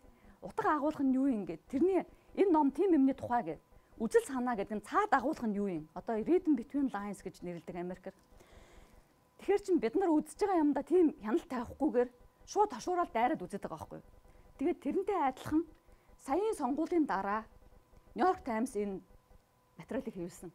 Энэ нь одоо Америкийн арт түмний үздэг хамгийн популяр 50 шоуг анализ хийгээд ямар ямар дүүргээс хэн үзэж гинүү тэр үзэж байгаа улсууд нь хэн цанлаа өгсөн бэ гэдгийг нь үзсэн. Тэгэхэд жишээлбэл Modern Family-г үздэг улсууд либерал Хиллари Клинтонийг дэмждэг. Тэрэндээ ч одоо гей райт эднэрх гардаг тий. Аа тэгээд нөгөө нэг Republican саналаа өгсөн улсууд ч бол Трамп дандаа нөгөө rural area хөдөөний Америкт өгсөн шүү дээ тий. Хөдөөний Америкуудын үздэг сэдвүүд нь бол үздэг шоунууд нь хүртэл шал өөр. Тэгэхээр энээс юу харагдж байна вэ гэхээр бид нар зөвхөн сонин дээр гарч байгаа мэдээллийг уншиж байгаасаа бид нарын улс төрийн үзэл үзэл бодол одоо нөгөө үнэт зүйл тодорхойлогдох биш. Бас юу үзэж гин ямар кино үзэж гин үү? Ямар телевизийн шоуг үзээд гин үү гэдэгт бол цаанаа мэдэгдэхгүйгээр бидний тархинд нөлөөлдөг. Тэгээд тэр тал бол миний яг судалгааны хамгийн гол сэдв. Энэ бол incidental learning гэдэг нь болохоор хүмүүс заавал ямар нэг юм энийг сур гэл ингээд тайлбарлаад авах биш. Хүүхдэд заахтаа бид нар энийг тэгж даадаг үстэй. Цаад зааж байгаа юмаа бид нар нуугаад зүгээр ингээд тоглоомын аргаар шилэл заах юм бол хүүхэд тэр чинь цаана юу сурч байгааг мэдэхгүй ингээд сурдаг. Одоо ингээд саяын сонгуулийн дараа нөгөө Saturday Night Live гэдэг Америкийн satire show гэдэг ерөнхийлөгчийг илгэлсэн тийм юмуд айгүйх явж байгаа өстой. Одоо Трампыг илгэлсэн, Хиллари Клинтоныг илгэлсэн тэр юмуд. Тийм тэр мөрний явж байгаа гол шалтгаан яагаад тийм нэвтрүүлэг авуулаад байна вэ гэдг нь болохоор миний түрүүн хэлсэн хүмүүс одоо за ашиг шиг Трампын тухай мэдээ уншмааргүй нь ашиг ядаргаа гэсэн мөртлөө тийм менежмент байдалд оруулсан юмыг болохоор чинь ямар инээдтэй инээдэгцэн байна гэсэн мөртлөө цаана тэрийг хийхдээ тэр хүмүүс айгүйг судалж юу ярьсан юмд нь анализ хийгээд хамгийн чухал мессеж нь юу вэ гэдгийг тэрэндээ шингээж байгаа байхгүй юу Тэгэхээр тэр чин хүмүүс нөгөө passive learning гэж нэрлэдэг. Active learning идэвхтэйгээр хүн юм сурч болдог. Passive гэдэг чинь ингээд идэвхгүй байдлаар хүний тарих маш их мэдээлэл авдаг. Одоо хүүхдүүд тэгдэг шүү дээ. Аав ээжигээ дөөрөөгөл бидний хэлжсэн юм нөгөө заагаагүй ах чинь дөөрөөгөл ингээд хэлсэн. Явж байгаа юм энэ хаанаас энэ сурчдаг байна гэхэр чи өөрийн чи дөөрөөс хэлсэн явж байгаа байхгүй тий. Яг тэрнтэй адилхан. Тэгэхээр энэ бол cultural bubble. Одоо барууны нийгэм интернет хөгжснөөр нэг юм нь болохоор нөгөө westernization гэж явагдаж байгаа дэлхийд даяар баруунчих ерөөсөө улс үндэстэн болон өөрийнхөө соёл соёлыг хадгалахын төлөө маш их тэмцэл өрнөж байгаа. Манай монголч гэсэн одоо маш их баруунжиж байна. Ер нь одоо ингээл ярих юм бол очоод кофе шоп сууж ин ерөөсөө баг Америкт байгаагаас баг ялгаагүй тий хэдэн жилийн өмнөдөө харьцуулахад тий Тэгэхээр чин тэр болгоны цаана бид нар өөрсдийнхөө national identity өөрсдийнхөө үнэт зүйлийг яаж авч явах вэ гэж яриад байгаа мөртлөө тэрэн дээр ингээ сайн анзаарахгүй зүгээр л хашуураад байгаа юм шиг надад санагддаг байхгүй зүгээр та нартай би тэр талаар тэгээ дараа нь ингээ саналаа солилцсомор байна. Тэгээд миний гол шалтгаан энийг оруулсан шалтгаан нь Монголтой тэрийг ингэж холбох гэж энийг оруулсан. За тэгээд ийм проблем тулгарчлаа. Одоо ингээд бид нар фильтр баабл шүүтэрэн бөмбөлөг ингээд нэг бөмбөлгөн дотор орж амьдрах гад байна. Одоо тэр бөмбөлгийг ингээд бодохоор би бол нөгөө хуучин хүү ингээд төмөрсөн тоогондор амьдрдаг гэж бид нар уншдаг байсан шүү дээ. Хуучин хүү те. Тэрний орчин үеийн хэлбэр юм санагдаж байгаа байхгүй юу? Айл болох ингээд төмөрсөн тоогон дотор амьдрал. Тэгээд тоогоноос гарч чадахгүй шүү дээ. Тэгээд тэрнтэй адилхан бид нар хуучин хүүгийн амьдрал руу ормооргүй шүү дээ тийм үстэй. Тэр тоогоноос ямар нэгэн байдлаар гарах хэрэгтэй. Нүх мөх гаргаад ингээд цоолох хэрэгтэй тийм үстэй. Ямар нэгэн аргаар. Тэгээд энд бол маш олон шийдэл дэвшүүлж байгаагийн нэг нь болохоор serendipity. Тохиолдлоор мэдээлэл олох. Санамсаргүй байдлаар мэдээлэл олох. Энэ бол миний хамгийн гол судалгааны сэдв. Тэгээд одоо хүртэл би монголоор яг ямар үгээр тэрийг орчуулах вэ гэдгийг би одоо одоо болохоор ботлоо олоогүй байгаа. Тэгээд санамсаргүй байдлаар мэдээлэл олох, тохиолдлоор мэдээлэл олох гэдээ яриад байгаа. Тэгэхээр зарим хүмүүс энэ одоо юу яриад байгаа юм бэ? Санамсаргүй байдлаар мэдээлэл олно гэж юу юм бэ гэдэг. Гэхдээ та нар тэрэн дээр надаас илүү тэгж тодорхойл болгох тийм монгол үг байвал өгөл бас би их баярлна. Тийм serendipity гэдэг миний эрдэм шинжилгээний багш энийг судалсан хамгийн том эрдэмтдийн нэг. Тэгээд би багшийнхаа судалгааг үргэлжлүүлж байгаа. Тэгээд энэ дээр бол яагаад serendipity чухал вэ гэхээр одоо энэ фильтр баабл хүмүүсийн тогооны тэр проблемоос гарахын тулд санамсаргүй байдлаар буюу тохиолдлоор мэдээлэл олох тэр чадварыг сайжруулж тэгжээч тэр нөгөө бөмбөлгүүдийг хаглая гэдэг байгаа байхгүй юу. Тэгээд тэр талаар маш сонирхолтой ном бичсэн судалгаа хийдэг хүн Nathan Zuckerman гэдэг MIT-ийн Media Lab-т ажилладаг ийм хүн. Тэгээд энэ хүн бол Harvard-ийн тэр Sandstein гэдэг профессортай ажиллаж байсан. Тэгээд энэ номоо Digital Cosmopolitans in Age of Connection Rewire гэдэг ийм ном бичсэн. Энэ номыг та нар бас уншчихвал аягүй сонирхолтой. Тэгээд энэ талаар бол одоо Accidental News Explorer эдгээр хүмүүсийн одоо өөр өөр өөрсдийнх нь тэр бөмбөлгийг хагалахын тулд маш олон технологийн шийдэл хийх гэж орлого хийгдэж байгаа.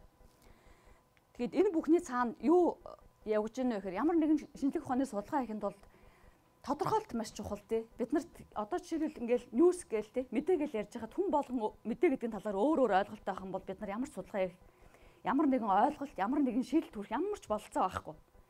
Тийм болохоор ямар нэгэн юм хийхэд бол бид нар тодорхой тодорхойлтоос эхлэх хэрэгтэй. Үнэн зүйлгээр яриад байхад бид нар үнэн зүйл гэж яг юу юм бэ гэдгийг тодорхойлох хэрэгтэй. Тэгэхээр миний хувьд миний судалгаанд хэрэглэж байгаа incidental exposure to news гэж энэ нэрлэж байгаа нь болохоор хүмүүс болохоор ерөнхийдөө ингээд түүхийн хувьд авч үзэх юм бол бид нар дандаа зоригтойгоор мэдээ олдог гэсэн. Зоригтойгоор бид нар сонин захиална. Тэр сонингийн чи хин нэг хүн гэртээ авчирч өгнө. Эсвэл та өөрийнхөө шууд ингээ хайрцаг сочиж аав. Эсвэл та зоригтойгоор зураг зурагтаа асаана. Одоо хасаахгүй л асахгүй ш зурагт чинь тий. Тэгээд сувгаа солиод өөрөө ингээд олно. Гэтэл орчин үед нөгөө пассив идэхгүй байдлаар мэдээ олох тийм бололцоо айгүйх нэгтцсэн.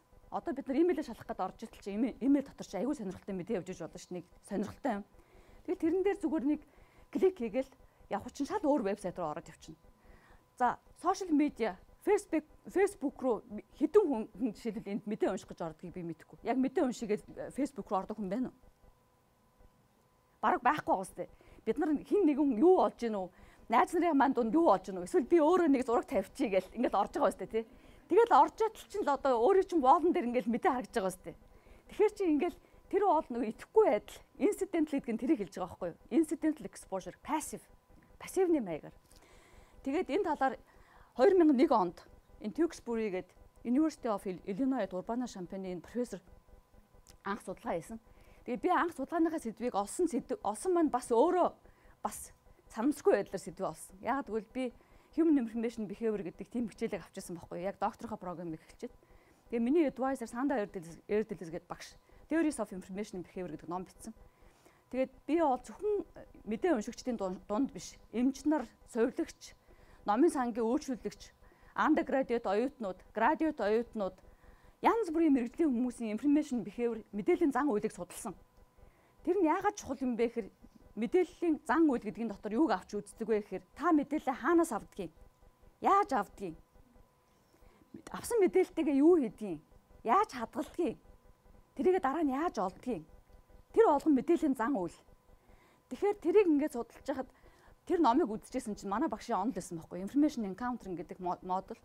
Тэгээ би тэрийг үзчихээд ямар сони ингээд тий хүн ингээд нэг зоригтой юм олж исэн чинь шал өөр юм хажууд нь гарангууд тэрлүү ингээд анхаарлаа сарниулаад яваад тэгэд мэдэл олчдаг гинэ хэрэг би тэр тэр үед яас сони онлоо гэж бодвол байжсэн чинь.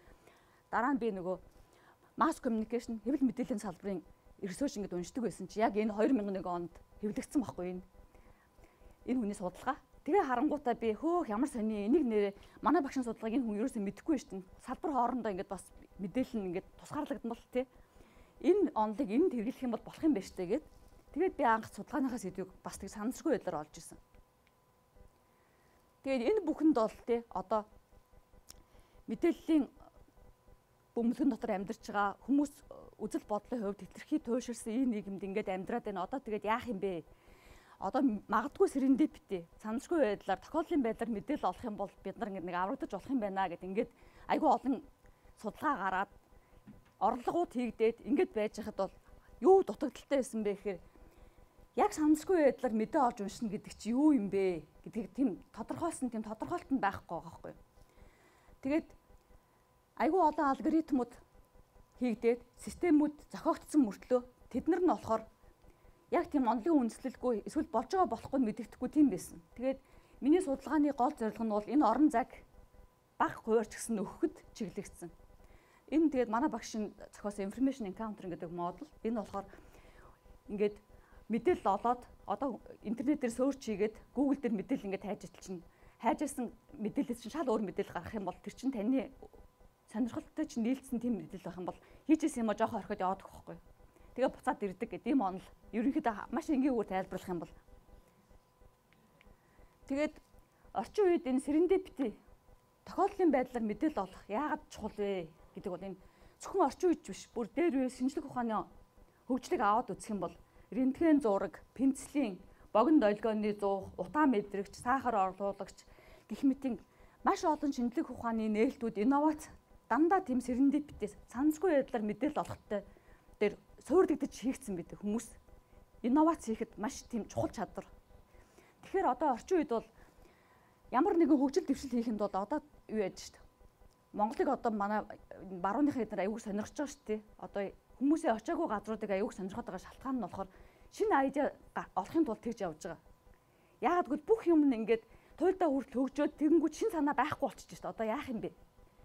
Тэгэд Монголын юмнуудыг одоо барууныхаа авчираад маркетлаад Монголоос илүү бизнес хийгээд ш тийм үстэй. Тэр чинь Монголоо санаа аваад шин санаа аваад очингуудаа самсгүй байдлаар мэдээлэл олоод байхгүй юмуудыг шал шин нүдээр ингэж хараад аваад байгаа байхгүй тий. Тийм учраас энэ талаар маш их анхаарал тавьж байгаа. Тэгээд манай багш өөрийнхөө моделийг 2095 онд төвшүүлсэн диссертацаа бичсэн. Тэрнээс хойш 2016 онд энэ ном хэвлэгдсэн. Пагн Кеннеди гэдэг хүний Inventology гэдэг яаж хүмүүс шин санаа олдог вэ? Инновац хийхэд тулд ямар чанар чанар хүнд байх ёстой вэ? гэдгийг энэ энэ хүн бичсэн.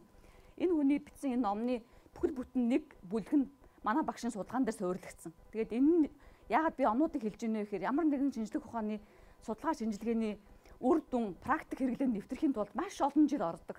Яагадгүй тэр нь болохоор яг л миний анх нь хэлжсэн яг олон нийтэд хүрсэн мэдээлэл хүрэхийн тулд маш уддаг. Нөгөө талаас техник технологи нийгэмд хэрэгжүүлэхийн тулд тодорхой хугацаа шаарддаг. Тийм учраас ингээ манай багш баярлж ирсэн энэ одоо л би тий би айгүй шинэлэг судалгаа хийж байгаа. Тэгээд энэ талаар хэн ч анхаарахгүйсэн чи одоо бүр ингээд нөгөө манай багшийн судалгааг сайт хийж байгаа улсуудын тоо бүр айгүй их хэсэд айгүй олон юм дээр ингээд нэр нь аваад тэгж эхэлж байгаа байхгүй юу. Тэгээд нөгөө нэг энэ юун дээр номонд орсон сэдвэр болохоор манай багш нэг тийм дөрвөн төрлийн хүнийг тодорхойлсон байхгүй юу. Супер энкаунтерер, нон энкаунтерер. Тэр нь болохоор төрөлхийн бид нар зарим нь тэгж инновац хийхэд бид нарын тарих бүр тэгээд юу яатсан. Зориулагдсан тийм структуртэй тийм зохион бүтээцтэй тийм тарихтай хүмүүс байдаг гинэ. Тэгээд тэр нь болохоор маш сониуч тэгээд ингээд тодорхой чиглэлүүдээр ингээд судалгаа хийсэн байдаг. Тэгээд хамгийн гол нь энэ хүн номондоо оруулсан нь болохоор тэр талаас нь бичсэн. Тэгээд 2010 онд би диссертацаа хамгаалсан. Тэгээд шинжлэх ухаанд ажиллаа хийж байгаа улсууд бол нөгөө нэг маш их нэг өрсөлдөөн дунд байдаг шүү дээ. Одоо миний хийж байгаа судалгаагаар өөр хүн ингээл юмаа гаргачих юм бол надаас өмнө хэлбэрчих юм бол миний ажил бараг хэрэггүй болох байхгүй юу? өө чиний эний чинь тэр хүн хөвлөлдсөн байж тэгэл тий. Тэгэл би 5 сар диссертацаа хамгаалах гал 4 сар дуусгачаал байжсэн чинь. Pew Research Center гэдэг чинь Америкийн тий. маш их судалгаа хийдэг хамгийн том байгууллага хэл мэдээллийн талбар тал одоо нийгмийн амьдралын талаар аягүй судалгаа хийдэг. Тэр байгууллага яг incidental exposure to news хүмүүс санамсгүйгээр мэдээ уншдаг юм байна гэсэн судалгаа гаргачихгүй 4 сард би тэгээ бүр паниктаад багштай очиод яг нөгөө дууссан байгаа штеп. Миний судалгааны талаар энд ингээ гарцсан байна гэсэн чинь манай багш зүгээр зүгээр чи зүгээр юм аа хэвлэл хамаагүй штэ одоо чи тэгээ яах энд хэвлэгдсэн байна гэдээ болохгүй гэд. Тэгэж мэдээж шал өөр аргаар хийсэн байгаа учраас тий Энэ бол нөгөө нэг яг би нөгөө research community-гийн талаар ингээд ямар явагдгийг бас нөгөө бид нар мэдээллийн хоорондоо шеэр хийж байгаа учраас яриад байгаа байхгүй тий. Зарим хүмүүс сонирхолтой байвал уучлаарай. Тэгээд миний судалгаа тухайн үедээ бол маш шинэлэг тооцогдсон. Тэгээд энэ Harvard Newman Lab гэдэг ийм журнализмын тухай шинэлэг мэдээллийг хэвлүүлдэг тийм байгууллага байдаг. Энэ байгууллага натаа ярилцлага хийсэн. Тэгээд e-content, Times of India айгүй олон тийм сонингууд төр миний судалгааны талаар гарсан. Тэгээд Баярлалаа. Тэгээ энэ нь болохоор хүмүүс ерөөсөө unexpected заавал мэдээний сайт биш. Шаал санамсаргүй тийм нөгөө газруудаас мэдээгээ олж уншдаг юм байна. Тэгээ surprise surprise хийсэн тийм мэдээлэг уншдаг юм байна гэсэн тийм гарчтайгаар ингээд гарсан байхгүй. Тэгсэн чинь Chicago Reader гэдэг хүнээс нэг хүн уцаар ярингуудаа хүш би зүгээр юугаа сонингоо уншиж байхдаа би санамсаргүй байдлаар мэдээ уншдаг тийм кайф авдаг байсан гинэ. Тэгсэн чинь одоо ингээд тэр чинь алга болчихж байгаа юм уу? чиний судалгаагаар чи онлайн гэж юм. Тэгээд хүмүүс цаасан сонингоо уншаал ингээд хөөх өнөөдрийн сонинд юу байхыг би мэдэхгүй тэгсэн мөртлөө ингээд айгүй гоё юм гарсан мэт гэж боддог штэ. Тэр алга болчихж байгаа юм бол хүмүүсийн реакц айгүй сонирн байсан байхгүй. Тэгээд судалгаагаа хийсний дараа тэрийгэ практикт нэвтрүүлэх болцоо надад олцсон. Тэр нь болохоор маш олон диссертац зүгээр хэвлэгдээд тэгээд номын санд тэгээд дуустдаг. Айгүй олон тохиолдолд. Би тэгээд нэг амар өнгөрч байгаа биш. Зүгээр би яг өөрийнхөө бодит хийсэн юм ингээд ярихад айгүй азтай тийм тохиолдол гарсан байхгүй юу. Reynolds Journalism Institute гэдэг манай сэтгүүл зүйн сургууль дээр байдаг. Сургууль төгссөн тийм нөгөө миллионер саятун хүн 31 сая доллар өгөөд байгуулсан. Тэр нь болохоор хэвлэл мэдээллийн салбарт тулгарч байгаа асуудлыг шинжлэх ухааны үндэслэлтэй судалгаан дээр суурилсан тийм шийдэл олох тийм зорилттой байгуулагдсан байгууллага. Тэгээд тэрэнд нөгөө жил болгоно 6-аас 7 хүнийг шалгаруулж авдаг. Тэгээ тэр нь би материалаа өгсөн чинь миний судалгаа шинэлэг учраас тэр нь шалгарсан. Тэгээд миний судалгаанд зориулж энэ байгууллага санхүүжилт өгөөд тэгээд би одоо миний гол зорилго болохоор одоо ялангуяа залуу хүүхдүүд оюутнууд эднэр бол ерөөсөө мэдээ уншихыг болцсон Америкт. Тэгээд тэрний үр дүн саяын сонгуулийн бас үр дүн байгаа байхгүй юу? Хүмүүс нөгөө нэг мэдээг уус төр мустар надад хамаагүйгээд тэгээд ботчингууд чинь сонгуультай очиж саналаа өгөхгүй байгаа шүү дээ. Тэрнтэй холбоотойгоор энэ сэтгүүл зүйн сургууль бас айгүй хэм хийдэг. Тэгээд тэрэнд бол миний гол зорилго нь чи нэг жилийн хугацаанд одоо ямар нэгэн практикл солиушнд олох хэрэгтэй гэж байгаа хөөх тий. Тэгээ би айгүйх ботсон. Ямар юм дунд мэдээг оруулаад хүн сонирх вэ? Гэд өөрийнхөө хийсэн судалгаан дээр бодож бодож жагаад хүн болгон тоглох дуртай. Тэ? Тоглоомын дунд тэгвэл энэ мэдээг оруулъя гэд.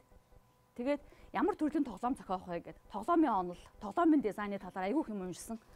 Тэгээд хамгийн гол нь манай их сургуулийн хот болохоор энэ хөл бөмбөгийн хөл бөмбөг нь маш чухал. Дандаа хөл бөмбөгийнхөө тоглолтыг үздэг. Бүр 100 мянган хүнтэй хотын 70 мянган ингээд стадионд байж идэг. Тэмцээн болохоор манайхан нөгөө бөхөө үздэг шиг айгүй сонин калчер. Тэгээд тэр үед бол манай энэ их сургуулийн баг нь нэг лигээс нөгөөт рүү шилжсэн байхгүй. Тэгээд би ямар сэдв сонгох вэ гэдгээ бас их бодсон. Тэгээд хүн болгон хөл бөмбөгөө сонирхдаг учраас би хөл бөмбөгийг сонирхсан. Тэгээ хамгийн гол нь энэ Tiger News гэдэг байгаа үстэй энэ. Энэ тэгээд энэ твит хөл бөмбөгийн тоглогчдын багийн гişүүд твитээ явуулдаг. Тэр твитүүдийг ийшээ RSS feed-ээр автоматар оруулаад энэ дээр гарч байгаа энэ мэдээнүүд нь болохоор манай хотын хоёр мэдээний байгууллагаас орж байгаа. Сая 12 цагт хэвлэгдсэн ном. Энэ дээр болохоор би яг түрүүнд дутагдаад байгаа юм гэж хэлжсэн шүү дээ. Самсгүй байдлаар мэдэл мэдээ олох гэж яг юу юм бэ гэдгийг тодорхойлох. Бид нар одоо ингээл нэг баахан олон хөдөө явал байж байгаа чинь баахан олон одоо Монгол соёлыг мэдхгүй хүн өдөө очиод газар ингээл харах юм бол баахан олон хорхоо морхоо ингээл байж их юм бол тэрийг хараад аль нь юу юм бэ гэдгийг мэдэхгүй шүү дээ. Эсвэл малыг хараад одоо зүсэлж мэдэхгүй шүү дээ. Гадаадах юм би ч мэдэхгүй. Тэгэхээр чин ямар нэгэн юмыг олохын тулд яг юу юм бэ гэдгийг тодорхойлох нь айгүй чухал байхгүй тий. Энэ заан юм уу? Эсвэл энэ морь юм уу гэл тий.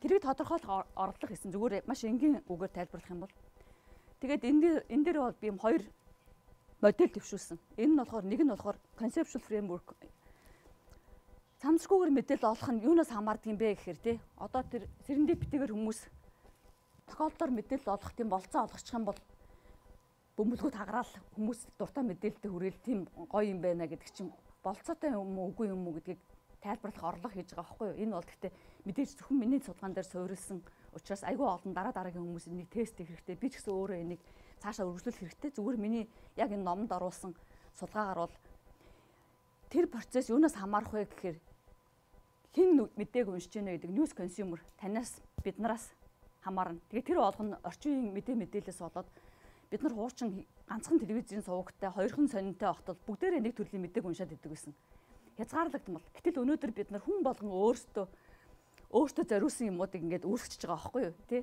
Тийм учраас тэр news consumer буюу хувь хүний тэр фактор маш өндөр. Тэгээ тэр нь болохоор юунаас хамаарч вэ гэхээр тэр хүн өөрөө мэдээ мэдээ гэдгийн дор юуг ойлгож байгаа юм бэ? Тэр хүн одоо Facebook руу тарсан болгоныгоо мэдээ гэж байгаа юм бол тэр хүн бас шал өөр тий? А эсвэл тэрэн дотор Нью-Йорк Таймс юм Washington Post өнөөдөр сониноос орж байгаа юм байвал тэрийг яах вэ? Ер нь нэг ньюс гэдэг талдаа би авч үзээ гэх юм бол бас өөр.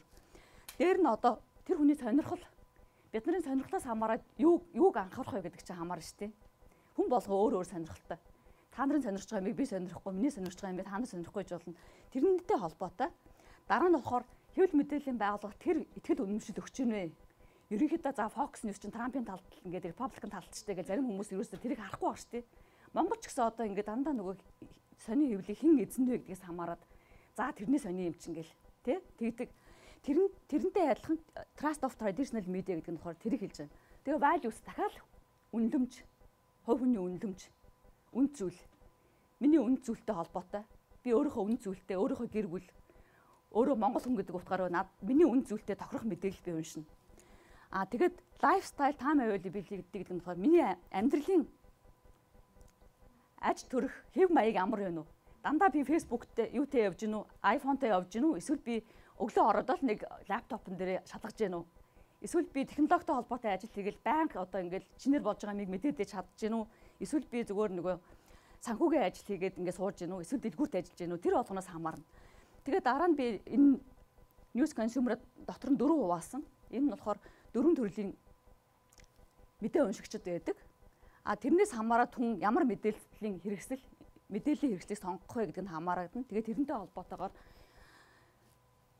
санамсгүй байдлаар мэдээ олох гэдэг нь юу вэ гэдгийг ингээд тодорхойлох ийм орлого хийсэн.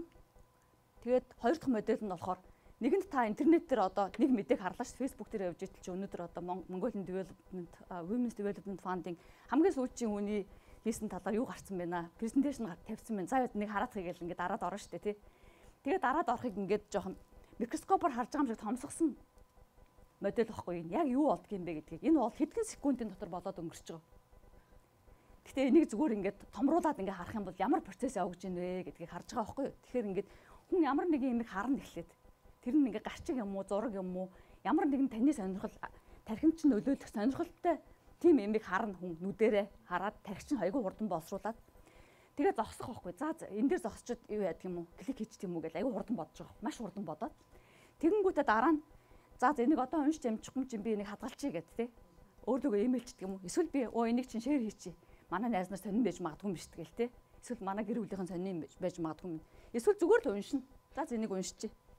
Тэгээд дараа нь хийжсэн юм руугаа буцаад ирэх байхгүй юу ч хийжсэн гэсэн тэ. Эсвэл бүр тэнэд алга болчихно. Тэгээд ийм процессыг энэ модельороо дэвшүүлсэн.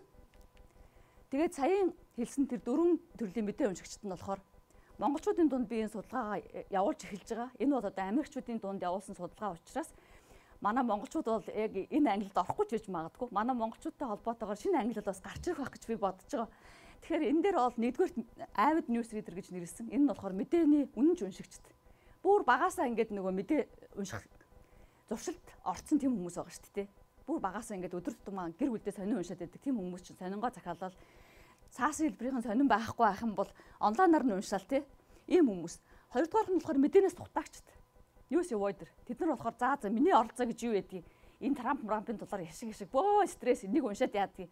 Монгол ожгой тэр уус төр надад ямар хамаатай бэ яшиг яшиг. Би тэр утааны төлөө юу ч хийх яшиг яшиг гэл ингээл бөө стресс гэл тэгж байгаа байхгүй. Айгүй олон хүнтэй би ингээд яг эрдэм шинжилгээний нэг бүтээл гаргаагүй мөртлөө байнга би ингээд тэрийг анзаарч яадаг байхгүй нөгөө. Өөрөө тархин бүр тийм юм суудсан шууд одоо би та нартай яриад ингээд яах юм бол би та нарыг эднэрийн нэг рүү оролцож магадгүй. Аа та тийм юм биш тэгэл те. Мэргэжлийн өвч. Тэгэхээр тэр хүмүүс болохоор тэр хүмүүсийн хувьд болохоор ингээд нөгөө эмоц сэтгэл санаа айгуу чухал. Би өглөө осонгуудаа муухай мэдээ уншаад хамаг өдрийнхөө мүүдийг өөрчлөмөөргүй дээ тий. Яшиг яшиг би NPR сонсохоо боллоо гэл тий. 3 дугаар групп нь болохоор news encounter. Энэ нь болохоор одоо яг оо яшиг яшиг би нөгөө хэлсэн шүү дээ. Information behavior theorist ингээд principle of least effort гэж яддаг байхгүй юу? Хүн ер нь айгүй залах уу? Хамгийн бага ажиллаа хийгээл юмыг авчих дуртай. Тэгээд мэдээ авахтаа ч гэсэн тийм хүмүүс байдаг. Тэд нар болохоор заа ашиг шиг Facebook дээр ороод байж тэлцээ. Хин нэгэн тэгэл өнөдөр болж байгаа юмны талаар шеэр хийсэн юм. Тэрийг харахад болоо штэ. Би тэгэхэд хоцрохгүй штэ тий. Тэгээ хин нэг хүн манай найз нарт нэг нь мэдээ уншил тэрийг ярих байлгүйдээ ажил дээр очих. Тэгээд тэрийг сонсчихно доо гэл тий.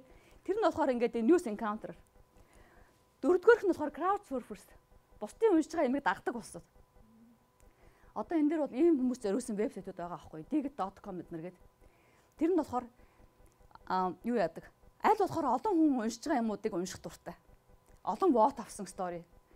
А эсвэл одоо та нар анзаарах юм бол хамгийн лайк хийсэн юмуудыг айгүй уншаад байгаа үстэй интернетээр хүмүүс. Дандаа тэрийг дагаалтыг хөөх энийг айгүй олон хүн лайк хийсэн минь юу юм болоо гэл ингээд сонирхдаг нэг тийм хүний бас сонирхдаг тийм нэг юу зарчим байгаа. Тэр нь болохоор ингээд олон төмнийг дагдаг. Хүн гэдэг утгаараа нийгэмшсэн дандаа бусдыгаа дагж яадаг. Ийм дөрвөн группийн хүмүүс тодорхойлсон.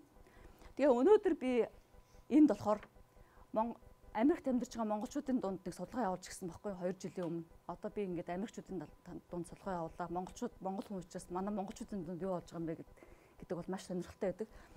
Тэгээд энэ судалгаагаараа би Америкт амьдарч байгаа монголчууд таанаас ямар мэдээгээ яаж олж уншдаг юм бэ? Ямар сэдвийг сонирхдаг юм бэ? Яаж мэдээгээ уншдаг юм бэ гэсэн ийм асуудлыг хүндхийг оролцсон. Аа тэгээ хоёрдугаар хэсэгт нь би өнөөдөр өөрийнхөө ажиглалт би одоо яг цаас бичээгүй ч гэсэн байнгын observation гэж нэрлэдэг. Observation гэдэг метод байдаг тий. Ажиглалт хийдэг. Мэдээ сошиал медиа руу ороод ингээл явж байхдаа би хэн ямар мэдээг шеэр хийж гинүү ямар юу яаж гин комент хэн бичиж гинүү одоо ямар яриа өрнөж гинүү гэдгийг байнга ингээд анзаарч байдаг. Тэгвэл тэрэн дээр хийсэн маш товчхон тийм анализа өнөөдөр би энд сонирхолтой бэлдсэн байгаа. Тэгээд энэ юу бол би судалгаа хийхдээ санал асуулга уулсан. А тэгээд одоогор бол Америкт 25 мянган Монгол амьдарч байгаа гэсэн юм статистик байгаа энэ бол нэг солонгост амьдарч байгаа монголчуудын дараа хамгийн том групп. Өмнө солонгост амьдарч байгаа монголчууд хоёр дахь группт ордог. Гадаадд амьдарч байгаа монголчууд. Тэгээд энд амьдарч байгаа монголчууд одоо 20 гаруй жил хамгийн ихэнд ирснээсээ хойш бол одоо ингээд шинэ иммигрант групп үүсгэж байгаа байхгүй юу? Өөрийн гэсэн соёлтой тий. Тэгээд энэ утгаараа бол маш сонин. Бид нар Тэгээд миний судалгаанд оролцсон улсууд ихэнх нь залуу хүмүүс оюутнууд байсан. 18-аас 20 нас 21-ээс 34 насных ихэнх нь байгааз. Тэгээ энэ дээр бол хүүсийн хувьд бол бараг тэгш тий 44 56.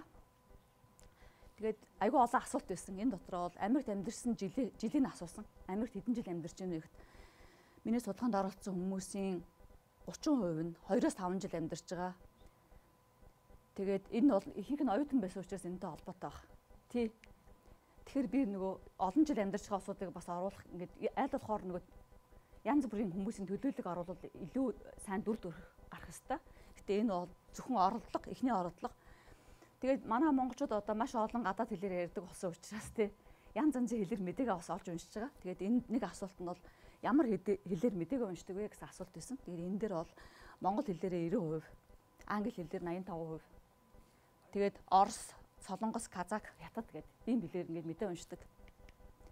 За тэгээд маш олон энэ судалгааны асуултууд байсан тэрнээс зөвхөн хэсгийг оруулсан байгаа. Энэ дэр хамгийн гол нь хаанаас мэдээгээ авдаг вэ гэсэн асуулт байсан. Тэгээд тэрэн дээр харахад та нар хардаа Facebook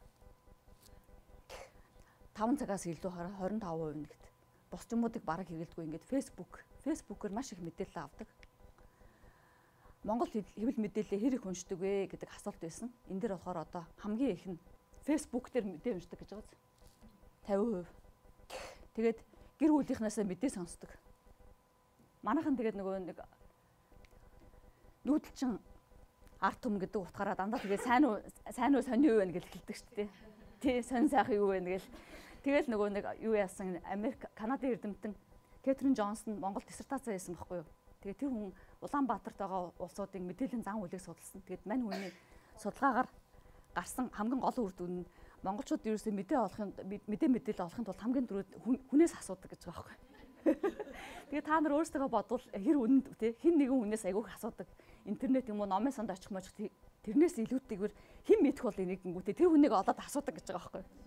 Тий тэгэхээр энэ дээр бас тэр бас харагдж байгаа үстэй тий манайхан гэр бүлээсээ ингэ сонсдог. Тэгээд нэг асуулт нь болохоор хэвлэл мэдээллийн ямар ямар э, сайтуудыг хэрэгэлдэг вэ гэсэн асуулт байсан. Тэгээд энэ дээр ингээ харсан чинь миний мэдэхгүй юм вебсайтууд бүр айгүй хэсэн. Тэгээд топ дөрвөн news сайт нь News.mn, Gogo.mn, Sak.mn тэгээд Icon.mn. Тэгээ хамгийн хамгийн их дурддагчныг ингээд тоолсон баггүй. Тэр нь болохоор News.mn, Gogo.mn, Sak.mn, Icon.mn тэгээд ингээ зарим нь би үздэггүй хараагүй вебсайт байсан учраас ингээ зургийг авсан News.mn, Gogo.mn, Icon.mn-ыг хардаг. Тэгээд Sak.mn тэгээд гарч байгаа мэдээллүүд нь ингээ хардаа тий ямар мэдээллүүд уншина. За тэгээд сошиал медиа ямар сошиал медиа хэрэглэдэг юм бэ гэсэн асуулт байсан. Тэрэн дээр бол Facebook, LinkedIn, Twitter, Instagram хэрэглэдэг. Тэгээ өдөрт хэрэглэдэг цагуудыг асуусан. Тэгээд миний судалгаа цамсгүй байдлаар мэдээлэл тохиолдол мэдээ олох учраас тийм асуулт бас байсан. Тэгээд тэрэн дотор асуухад бол мэдээтэй холбоогүйгээр come across news while doing non news related stuff гэдэг нь болохоор мэдээтэй холбоогүйгээр юм хийж явахдаа өдөр болгон санамсаргүйгээр мэдээлэлтэй мэдээ уншдаг. Аа ерөнхийдөө нөгөө нэг урд нь таарлна гэж бодоогүй тийм мэдээлэлтэйгээ учирдаг гэж хэрэг таардаг. Аа энэ нь болохоор яг юу хийж явах та санамсаргүй байдлаар мэдээ олдох юм бэ гэсэн асуулт байсан. Тэгээ энэ дээр болохоор Facebook өдөр тутам Facebook дээр дараагийнх нь болохоор 47% юм.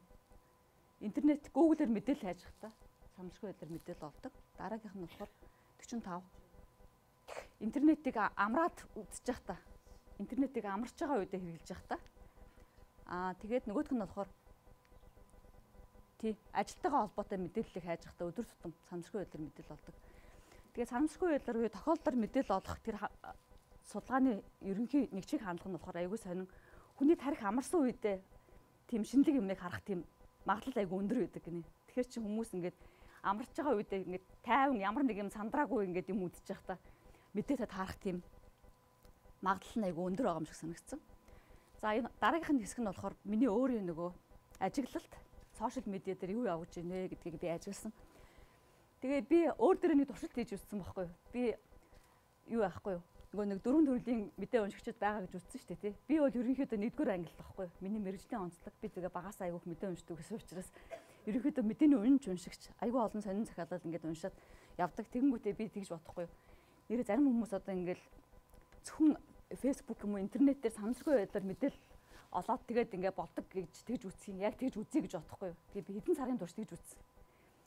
Тэгээд ороод үтсэн чинь айгүй хязгаарлалт мэдэрсэн. Тэр нь яагаад гэхээр миний найз юм бэ гэдгээс айгүй хамаарна. Тэ? Тэгээд тэрний цаанд Facebook-ийн дээр гарч байгаа юм чинь бид нарын мэдхгүй маш олон алгоритмаар явж байгаа байхгүй юу? Компьютер сайенсийн талаас авч үзэх юм бол тэр цаана явж байгаа тэр алгоритмыг хэн ч мэдэхгүй. Facebook цэрийг хязгаарч нууцаад илэхгүй. Тэр чинь хэний юун дээр wall-н дээр хязээ ямар мэдээлэл гаргах вэ? News тренд нь ямар юм байх вэ? Тэр болгон чинь цаана мөнгөтэй холбоотой тий. Тэгэхээр тэр алгоритм хязгаарч дэлгэгдэггүй. Тэгээд олон судлаачид хүртэл тэгдэг байхгүй хэдийн янзын алгоритм энд яваад байна гэх. Тэгээ Google-ийн хүнтэй би уулзчихсан. Google search явхдаа та нар хэдэн алгоритм хэрэглэх юм гэт одоо 100 гаруй алгоритм хэрэглэдэг. Гэхдээ бид нар тэрийг хүмүүстэй шеэр хийдэггүй гэж байгаа юм. Тэгэхээр чин бид нарын Google-ээр хайж байгаа мэдээллийн дээд тал гарч байгаа нь гэх чинь яг хамгийн чухал мэдээлэл гарч ийн үгүй юу гэдэг чинь бас эргэлзээтэй. Facebook дээр гарч байгаа юм чинь бас тийм эргэлзээтэй. Тэгэхээр би өөрийнхөө туршилтан дээр үнслээд тэгээд ярихад ямар нэгэн хэвлэл мэдээллийн байгууллагын пэйжийг Facebook пэйжийг лайк хийгээгүй тохиолдолд миний мэдээлэл маш хязгаарлалт үндэс. Би жинхэнэ нөгөө маш жижигхэн бөмбөлгөнд эргэлцсэн баг. Тэгэнгүүтээ би дараагийн туршилтаа хийж үзэхгүй юу. За тэгвэл одоо хэвлэл мэдээллийн байгууллагуудыг лайк хийгээд үзье тээ. Тэгээд лайк хийгээд үзсэн чинь Нью-Йорк Таймс CNN одоо ингээд өөрийнхөө дуртай гадаадын хэвлэл BBC тэгээд одоо ганцхан талын мэдээлэл авах чинь бас хязгаарлалтанд учраас Синхуа News тэгээд Оросын хэвлэл мэдээллээс ингээд лайк хийсэн чинь тэр байгууллага болгоны өөрийнх нь давтамж мэдээлэл тавьж байгаа давтамж тэгээ ямар мэдээлэл явах уу гэдгээс нь хамаарат миний вол дээр гарч ирж байгаа мэдээлэл бас шал өөр. Тэгээд би туршилт тэгээд CNN-ийг тавьсан чинь CNN бүр дэндүү амар автомжтай. Ерөөсө хэдхэн минутын дотор зүгээр дүүрэн CNN юм гараад ирчих юм чи өөр юу ч харагдахгүй. Тэгэхээр би CNN-ийг анлайк хийж байгаа байхгүй. За яшиг шиг энэ удаа дандаа CNN юм гараад харч одоо хайшаа ингэ тий. Тэгээд дараа нь Монгол юмнуудыг оруулж ирсэн. Өнөөдөр сонин News MN, Icon MN гэдэгт оруулж ирсэн чинь манай Монгол хэвлэл мэдээллийн сошиал медиа стратеги нь бас тийм сайн биш вэ. Яагаад гэхээр бусад хэвлэл мэдээллийн байгууллага бол тэрийгэ тавьж байгаа давтамж нь ямар мэдээгээ тавьж байгаа гэдэг нь айгүй хүнд өгөөчтэй тий. Одоо би ингээд жишээлбэл Facebook өнөөдрийн вебсайт руу юм уу одоо өдрийн сонин бусад Монголын сайтуудын вебсайт руу өөрөө ингээд зориудаар явж орохгүй зөвхөн Facebook дээр гарч иж байгаа юмда тэрийг хангалттай гэд ингээд үсэх юм бол баг мэдээ гарч ирэхгүй байгаа байхгүй. Энийг нэг давтамжинд айгу удаан зарим заримдаа тэгээд маш их тавт юутай давталтай мэдээ ингээд хуулцсан мэдээнүүд ерөөс нэг вебсайтаас нөгөөх рүү хуулцсан юмуд хин эхлээд эхлээд тэр мэдээ гаргасан бэ хин бичсэн бэ гэдэг нь тодорхойгүй. Тэгэхээр энэ дээр ингээд би тавьсан. Одоо энэ би Монгол ТV-гийн Facebook-ыг лайк хийсэн. Монгол ТV-гийн тэр нөгөө Mongolia Got Talent тэрийг эднэр аяг үзэх дуртай. Тэгээд энэ дээр нардын буудан гэдэг энэ нэвтрүүлгийг эднэр ингээ хардаг. Аа тэгээ өнөөдөр сонин гişэл ингээ харахад бол хаяа нэг ингээ тавьдаг. Энэ нь бол гэхдээ ямар давтамжтай явж байгаа нь аягүй тодорхойгүй. Заримдаа авахд байж идэг. Тэгээд яг чухал мэдээ бас заримдаа гарч ирдэггүй энэ дэр.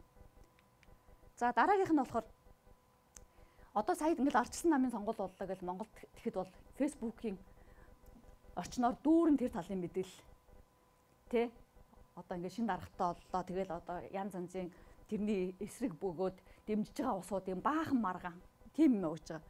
Нөгөө талаар манай Монголд болж байгаа монголчууд бол нөгөө газар нутгаас үл хамааран Монголоо гэсэн сэтгэлээ хадгалж байгаа илэрэл бол маш их илэрхийлэгддэг энэ дэгүр. Энд байгаа ч гэсэн гадаад байгаа ч гэсэн утааны асуудлаар санаа зовсон хүмүүс маш их Тэгээд утааны асуудлаар боож утаа утаатай бол боож хөглөө юу лээ нөгөө. Тий тэр тэр хөдөлгөөн өдр тий айгүйх мэдээлэл ингэ явж байгаа байхгүй юу? Дотор нь явж байгаа. Нэг нэг үгээр бодох юм бол бид нарын идж байгаа Монгол хоол бидний оюуны хоол юу вэ нэ гэдгийг эндээс харж болох байхгүй юу? Дараа нь болохоор одоо Facebook маш их популяр болж байгааг нэг тод жишээ. Одоо ингээд Монголын Facebook-ийн хуудсууд хэдэн лайк авснасаа хамаараа зардаг юм байна. Одоо энэ дэр байгааз 116 мянган лайктай пэйж зарна. 4 сая 300 мянга. Энэ одоо тэгээд тараа 88 юутай мянган лайктай пэйж зарна. Тийм тэгж байгаа. Тэгээд энэ бол нэг юмны илрэл тий. Миний ажиглалт бол ингэж байгаа байхгүй? Одоо Facebook ийм чухал үүрэг гүйцэтгэдэг болцсон байна. Магадгүй одоо сонингуудаас илүү энийг зарж ийн ийм үнээр хин нэг хүн авч ийн гэдэг чинь Facebook маш хүчрхэг байгаагийн шинж байхгүй тий. Тийм учраас би энийг оруулсан. Монгол гэдэг утгаа national identity өөрийнхөө үндэсний үзлийг дэврэгсэн, үндэсний үзлээ хадгалсан ийм их төрлийн мэдээлэл маш их явж байна энэ дотор. Өөр нэг нь болохоор одоо яг нөгөө үн зүйлтэй холбоотой. Бид нарын явж байгаа хоорондоо шеэр хийж байгаа мэдээ юу вэ нэ? Одоо жишээлбэл энэ дээр бол тий нөгөө батарей эзэдмал бичсэн байсан. Валентин ба монголчууд гэдэг. Би одоо Facebook, сошиал медиагаар ингээд анзаарч байхад манай монголчууд нөгөө маш их баруунж байгаа мэддэг байхгүй юм. Тэгээд нөгөө манайхан сохрын газар сохроор доглонгийн газраар доглон гэдэг үг нь манай нэг үн зүйлт амар нөлөөтэй мө гэж би хувьдаа боддог аахгүй. Яагаад гэвэл манайхан нөгөө нүүдэлчин омог, нүүдэлчин ард түмэн учраас survive өөрөө өөрийнхөө амиг авч гарахын тулд айгүй урд адапташн хийдэг. Бараг тэр цаатлынхын цуур утгыг мэдхгүйгээр ингээл дөөрөөгөл явчихдаг юм шиг надад санагддаг аахгүй. Тэгээ би сүүлийн үед тэр нөгөө наран гэрэл багшийн бичсэн номнууд байгаа шүү дээ. Нөгөө Чингис хааны үн зүйлийг эднэр ингээд яаж дамжуулсан гэдэг тэр номуудыг уншиж байгаа. Тэгээд айгүй сонин зөөр цэцүүгээр ингээд бид нар анзаараад үзэх юм бол бидний үн зүйл яг харагдж байгаа байхгүй. Тэгэл тэрнийг одоо дөөрөж байгаа. Валентины өдрийг одоо айгүй их тэмдэглэнэ. Халлоуины өдрийг чинь бүр Монголын хөдөө тэмдэглэж байгаа байхгүй. Хөдөөний хүмүүс ингээд костюм өмсөөд тэгэхэд би тэгсэн хүүхдүүдээ манай эмээ өвөө байсан бол энийг муу ёр гэмээр ямар амар юм өмссөн бэ? Хөдөөний хүмүүс нэг морь мал нь өргөмээр Тэгээд нөгөө цаа талдаа ямар утгатай, ямар минингтэй, юу вэ нэ гэдгийг ингээд бодохгүй. Тэгээд би энэ Батар Эцмагийн бичсэн юмыг би айгүй зөв асуулт төвшүүлж ингэж бодсон. Би Валентины эсрэг биш. Мэдээж хүн хүн болгон хайрлагдах дуртай, хайрлах дуртай. Тэрийг илэрхийлж хүнд бэлэг өгч болно тий. Гэтэ ямар учир шалтгаантай энэ баярыг хаанаас ямар үндэслэлтэй, ямар шашинтай, ямар хүмүүс тэмдэглээд байгаа юм бэ гэдгийг бодох хэрэгтэй байхгүй юу? Үн зүйл бид нарын үн зүйлтэй нийлж байгаа юм уу? Аа тэгээд одоо мөн шашин гэлжтэй нэг бөө юм боллоо сая тий. Хэдэн сарын өмнө Тэгж яах чинь тэр чин бас л яг бидний нөгөө нэг үн зүйлээ тодорхойлж чадахгүй цаад минь үзэл бодол юу нь вэ гэдгийг мэдэхгүйтэй холбоотой. Зүгээр л дагаад. Тэгээ одоо өөр нэг юм даах штеп. Энд дэр байна уу? Иймэрхүү мэдээлэл маш их явж байгаа одоо хардаа. Аз гэж бичээд 3 секундын дотор дараарай. Танд 3 цагийн дотор аз ирэх болно. Тэгэл эсвэл баахан могооны зураг бид нар тавьсан тий. Эсвэл нэг бурхны зураг тавьсан. Тэгээд энийг цааш нь төдөө хүн чээр хийгэрээ. Эсвэл энэ мессеж копи пестэд яваарай гэдэг. Тэгэхээр чинь би тэр хүнтэй найз байхад аягүй хэцүү болж байгаа байхгүй юу? Тэр хүний юм чинь ингээд дахин дахин гарч ирэл тий. Тий аз жаргалын захаа. Би тэр хүнийг одоо unfriend хийчих юм бол намайг их зантай намайг unfriend хийсэн байлээ гэх тэгнь. Тэгэхээр чи тэрийг хадгалаад байх хэцүү. Миний Facebook-ийн wall ороод би нэг жоох юм харагингүүт бөөн тийм юм. Тэгэл дараа нэг найз маань өөдрөөгөө явуулсан нөгөөх нь гараад ирж байгаа байхгүй юу? Тэгээ өөр нэг айгу гоё үйл явдал явагдаж байгаа нь болохоор бие биендээ туслах юм арга хэмжээ айгу их явуулж байна. Энэ бол одоо нэг сошиал медиагийн нэг маш том павер. Айгу олон газар одоо сая Марк Закербергийн хийсэн нэг тийм шинэ юу мэдгэл нь байгаа шүү дээ. Сая нөгөө ойгоо хийгээд байгуулагдсанаас хойш төдөн жилийн ойгоо хийлээ. Бид нар одоо дэлхийд 1.9 биллион хүмүүсийг холбоцсон байна. Тэр тэр хүмүүсийг холболоо. Ялангуяа энэ фейк ньюс ийм юмтай холбоотойгоор Facebook бол нийгэмд дэлхийд дахинд маш том үүрэг гүйцэтгэж байгаа юм байна. Манай дараагийн зорилго юу вэ? Одоо нөгөө бид нар яриад ирсэн тийм mission vision гэж яриад байгаа. Facebook өөрийнхөө тэр тодорхойлсноогоо бичсэн Марк Закерберг. Тэгээ тэрэн дээр Facebook-ийн дараагийн зорилго бол community development гэж байгаа байхгүй юу? Зөвхөн хувь хүнийг биш, community улс орныг хөгжүүлэх. Тэгээ тэрэн дээр бол би энд явагдаж байгаа энэ бие биендээ туслах ийм нийгмийн идэвхтэй юм явагдаж байгаа юмуудыг бол айгүй гоё гэж боддог. Энийг тэгээд энэ талаар бол айгүй олон юмудыг анзаарсан. Энэ дээр би зөвхөн нэг л юм оруулсан. Энэ ингээл бие биендээ өвчтэй зовлонтойгоо улсуудад мөнгө цуглуулаад тэгээд тэр талаар бол энэ айгүй идэвхтэй үйл явуулж үйл ажиллагаа явуулж байгаа энэ хүмүүс бол яг сошиал медиа фейсбુકийг маш зөвөр хэрэгжилж байгаа. Тэ зөвхөн өөртөө биш нийгэмдээ монголчуудаа хэрэгцээтэй юм юм хэрэгжилж байгааг нэг жишээ гэж анзаарч байгаа. Тэгээд энэ хамгийн сүүлд нь болохоор яг л нөгөө оюуны холбоотой юм ярьж байгаа, мэдээлэлтэй холбоотой юм ярьж байгаа учраас энэ хоёр өдрийн өмнө би нөгөө Ширчмгийн Баатар ах шүү дээ. Сан Францискод байдаг. Тэр тэр ахын өмнө дээр нөгөө Монголд нэг хүн дэж хүүхдүүд аяг үтгэж асуудаг гэнэ ямар ном унших вэ гэл те. Ямар ном унших вэ гэдэг чинь бас л яг value-тай холбоотой. Монгол хүн үнэ хөгжүүлэхэд бол бид нар хүүхдүүдэд ямар ном уншуулах юм? Өөртөө бид нар монгол хүн гэдгийг хадгалахын тулд бидний дунд хоорондоо ярих ямар кино, ямар ном байх хэвтэй. Бид нар одоо өргөн хүн мөргөн хүүгэл ингэж кино ярих юм бол манай хүүхдүүд мэдэхгүй жишээлбэл тий. Одоо бид нар үзэж өссөн кинонууд уншсан номуудыг бол одоо одоогийн залуучууд ингээд мэдэхгүй. Тэгэхээр тэр чинь бид нар ингээд уялдаа холбоогоо алдчихж байгаа. Тийм энийг шинж тэмдэг. Тэгэхээр энэ асуултыг тавьсны хариуд ингээ аюу олон хүн асуулт хариулт жишээлбэл тавьж байгаа байхгүй юу. Цэнжин угаа жишээлбэл Монгол хэл сэтгэлгээтэй болыг гэвэл а нууц товчоо араа цаашлуулбал хөгс өдрийн инженашийн зохист айлгууны чимэглэлт хэллэг араахан төөлбөл Аравжаагийн шүлэг найраг сургаал араахан төхүүлбэл насаг дөржин богино нөгүүлдэг шүлэг дахисхийгээ дахиулбал мэдээж эренжингоо монгол хэлний язгуур сэтгэлгээ сонгодог бичгийн найруулга үүнтэй зэрэгцүүлбэл дамжин сэрэнгийн саруул ухаан цэлмүн энгийн хэллэг бүү өөрийгөө зорж мэрж инжаалдаг болгоё гэвэл эсэрд нь бэ явуу хуландаа гэд. Ингээд айгуугаа яриа өрнсөн байхгүй. Тэгээд би энийг зүгээр энд сонирхолтой авахчдад оруулсан. За тэгээд мэдээнээс жоохон хайлаад нэгэнт би мэдээлэлтэй холбоотой мэдээллийн бөмбөлгийн тухай ярьж байгаа учраас би Монголд оршихолгонд номын дэлгүүрт аягүй цаг өнгөрөөдөг. Маш их ном худалдаж авдаг. Манай гэрт маш их том номын сантай. Тэгээд тэр болгонд ингээ анзаархад энэ талаар судалгаа яадаг мөртлөө Америкийн нийгэмд анзаархад, барууны нийгэмд анзаархад эдгээр хүмүүсээ эрх чөлөөтэйгээд өгцөн мөртлөө мэдээллээр нь аягүй хяндаг. Ямар мэдээ уншиж гэнэ үү? Ямар ном уншиж гэнэ үү? Гадаадаас хүүхдийн ямар зохиолыг орчуулах уу? Орчуулгахдаа ямар хэсгийг яаж өөрчилж буулгаж орчуулах уу гэдэг дээр маш их бодлогын асуудал явагддаг.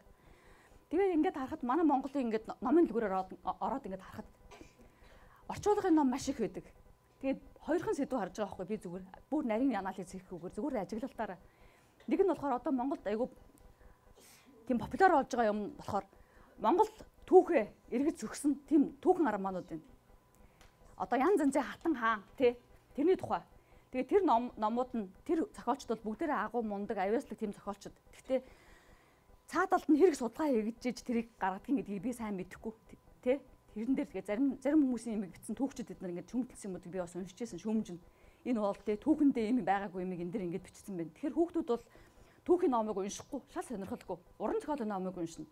Уран зохиолын номн дээр нь буруу түүх бичсэн байх юм бол тэр бол буруу тий буруу мэдээлэл авчина. Тэгээд ингээд бест селлер гэдээ бас айгүй дөөрөөцсөн манайх. Гэтэ энэ бест селлерыг ямар шалгуураар хэн шалгаад яагаад энийг ингээд листэнд орж байгаа юм бэ гэдэг нь ерөөсө тодорхой биш. Шинжлэх ухааны үнэлэлтэй энэ юм явагдах хэрэгтэй энд. Энэ одоо зарагдсан тоогоор ингэж явагдаж байгаа мó? Агуулгаараа энийг шалгаруулад байгаа мó? Олон нийтэд санал агуулад явуулаад байгаа мó? Номын дэлгүүр нь шалгаруулад байгаа мó? Гэдэг нь тодорхойгүй. Тийм учраас бид нар одоо ийм мэдээлэлсэн нийгэмд амьдарч байгаа хүмүүс учраас өөрсдөө тэрийг ингэ толгойд аягүй сайн бодмоор санагддаг надад. Тэгээд энэ гачгуудыг аваад үзэхэр одоо ингэ хардаа Монгол үн зүйлтэй холбоотой ном жишээлбэл энд байна уу? Дандаа орчуулгын ном. Тэгээд Generation Me гэдэг ном байгаа та нар үзээрэй. Тэрэн дээр болохоор Америкийн Generation Me BB гэдэг энэ generation-ийн тухай судалгаа хийсэн эрдэмтэн байдаг байхгүй юу? Тэр хүн өөрийнхөө маш олон жилийн түүхийг судалгаан дээр үндэслээд Generation Me гэдэг тэр generation хуваацсан байгаа байхгүй юу? Манай Монголд болохоор тэр generation хуваасан юм байхгүй. Одоо бид нар социализмын үеийнхэн одоо нарчлын үеийнхэн залуу үеийнхэн гэх юм байсан. Манай нийгмийн ухааныхан гэх чинь тэрийг бас судлах хэрэгтэй байхгүй юу? Одоо тий социализм үед хүмүүцэн улсуудын нэг value үн зүйл нь ийм юм байсан юм байна. Орчин үеийнх ийм болсон юм байна. Одоо гадаадд амьдарч байгаа монголчуудын үн зүйл нь ийм болсон юм байна. Энэ үн зүйлүүд хаагаараа яаж холбогдож оверлап болох юм бэ гэдгийг мэд хэрэгтэй тий. Тэгэхээр энэ дээрээс ингээд харахад Монголд очиход тэр түүхэн романууд хоёрдугаарх нь дандаа гадаадаас орчуулсан юм.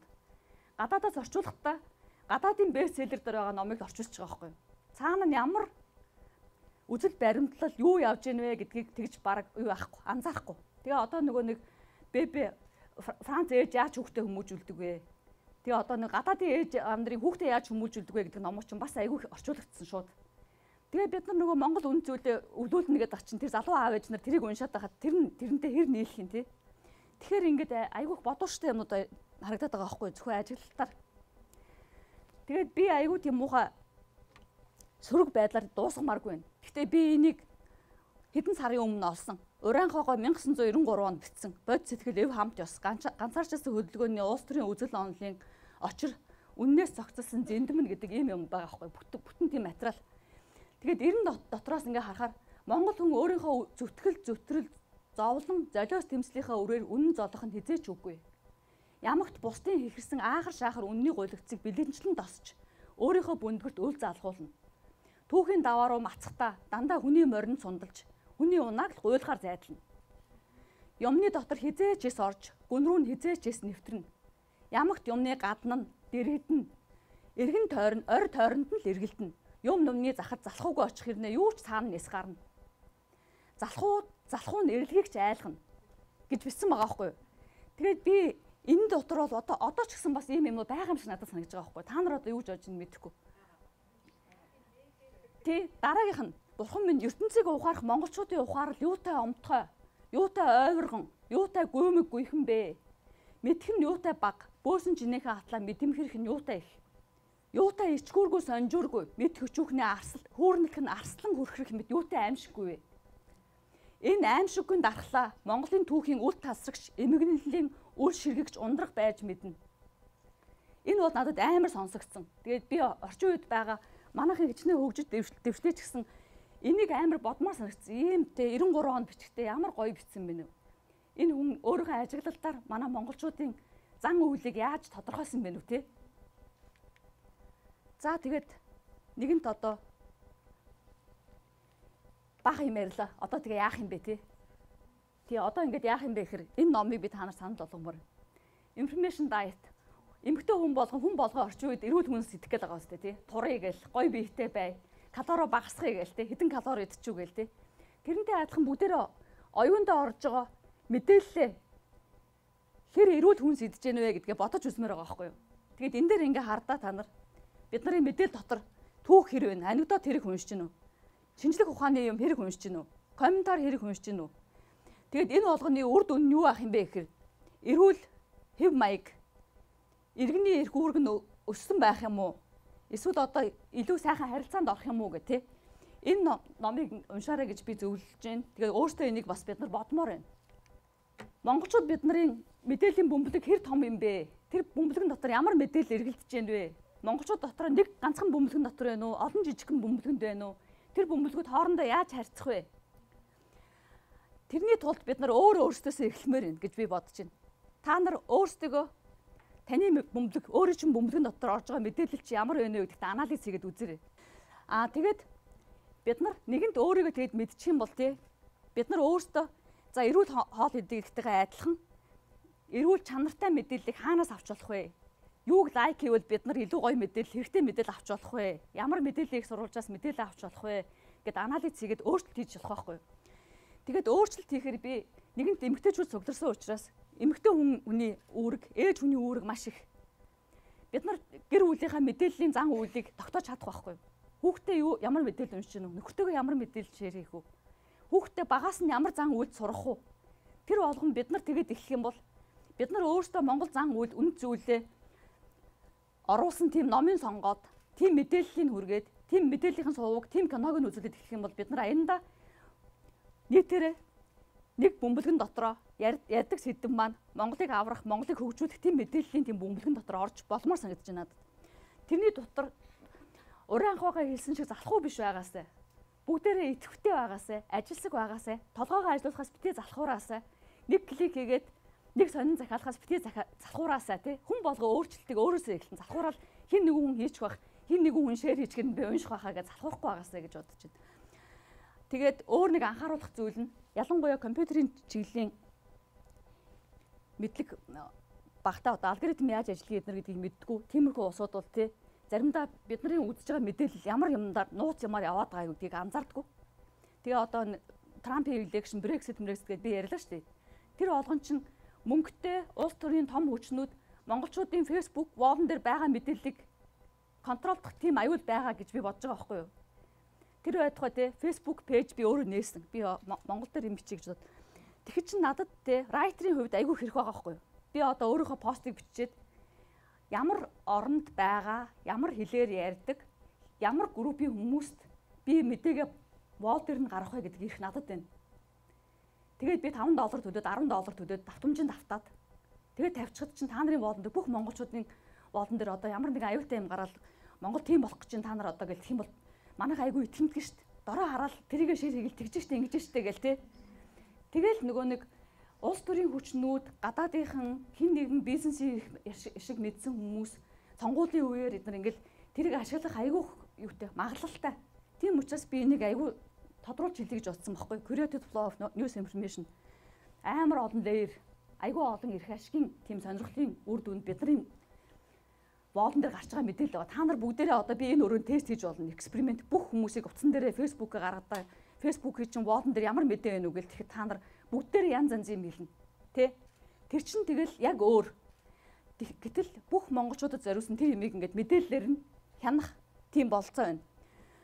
За тэгээд нэгэнд бид нар сошиал медиагаас зайлж чадахгүй. Facebook одоо угаасаа тэгэл Монгол зарагдаал хідэн пэйжтэй хүмүүс ингээд зараал ингээд явж штэ бүгдээрээ Facebook дээр бид нар холбогдож байгаа сайхан сайхан юм зөндөө байна. Ангийнхантайгаа холбогдож байна, найзуудтайгаа холбогдож байна, гэр бүлтэйгээ холбогдож байна. Монголтойгоо холбогдох юм болцоо бид нар гадаадын гадаад амьдарч байгаа улсууд олж байна. Гадаад Монголд байгаа хүмүүс маань гадаад байгаа монголчуудынхаа дунд юу болж байгааг ингээд харах болцоотой болж байна. Энэ болгоны үр дүнд бол зөв хэрэглээсэ гэж бодож байна тий. Зөвөр үр дүнтэй хэрэглэх хэрэгтэй бид нар. Аа тэгээд энэ бүхний үр дүнд бол өөрөө болон үр хүүхэдтэй цаг зөв хэмнэх цагаа зөв удирдах, мэдээлэлээ зөв хянаж удирдах тийм ур чадвар маш их хэрэгтэй. Яг ийм мэдээллийн эрэнд амьдарч байгаа учраас дараагийн хамгийн чухал юм мэдээллийн бишиг үсэг тайлагдах. Энэ асуудал маш чухал. Америкт болон барууны орнуудад ч гэсэн энэ асуудал айгүй хэрэгжиж байгаа. Тэгээд энэ дээр болохоор багаас нь хүүхдэд information literacy мэдээллийг алиг зөв, алиг буруу, аль нь хүний юу санал, аль нь факт юм бэ гэдгийг тодорхойлох тийм чадварыг суулгах хэрэгтэй critical thinking skill гэдэг шүүмж сэтгэлгүйгээр одоо анализ хийх, analytical тийм чадрыг суулгах. Аа тэгээд энийг бол боловсролын байгууллагууд, мэдээллийн байгууллагууд тэд нар бол улсын байгууллагууд тэрийг бол бүхэл бүтэн тийм бодлогын төвшөнд авч үзэх хэрэгтэй. Тэгээ эмгтээчүүдийн үүрэг маш чухал гэдгийг би хэлсэн. За ингээд цаг дуусч байгаа учраас одоо ингээд нэгэнт нөгөө манай монголчуудын дунд тулгараад байгаа асуудал дэлхийн нийтээр Америк төрөл болж байгаа юм тулгамцсан асуудал учраас хуурамч мэдээг жинхнээс нь яаж алах вэ гэсэн тийм мэдээлэл маш их гарч байгаа. Одоо энэ information literacy-тэй холбоотой. Одоо энэ дээр ингээ хэдэн слайд оруулсан байгаа. Одоо энэ жишээлбэл фейк ньюсыг яаж мэдэх вэ гэдгээр чинь тий. Ямар сорсоос гарч ийнэ гэдгийг хар. Сайн унш гэж байгаа байхгүй юу? Хэн бичсэн бэ гэдгийг хар. Supporting source гэж байна уу? Хизээ бичигдсэн гэдгийг хар. Энэ хин нэгэн хүн зүгээр тоглоом хийгээд бичсэн мэдээ байна уу гэд хар тий. Тэгээд бүр болохгүй бол хин нэгэн мэддэг хүнээс асуу гэж байгаа байхгүй энэ үнэн худлаа юу гэж.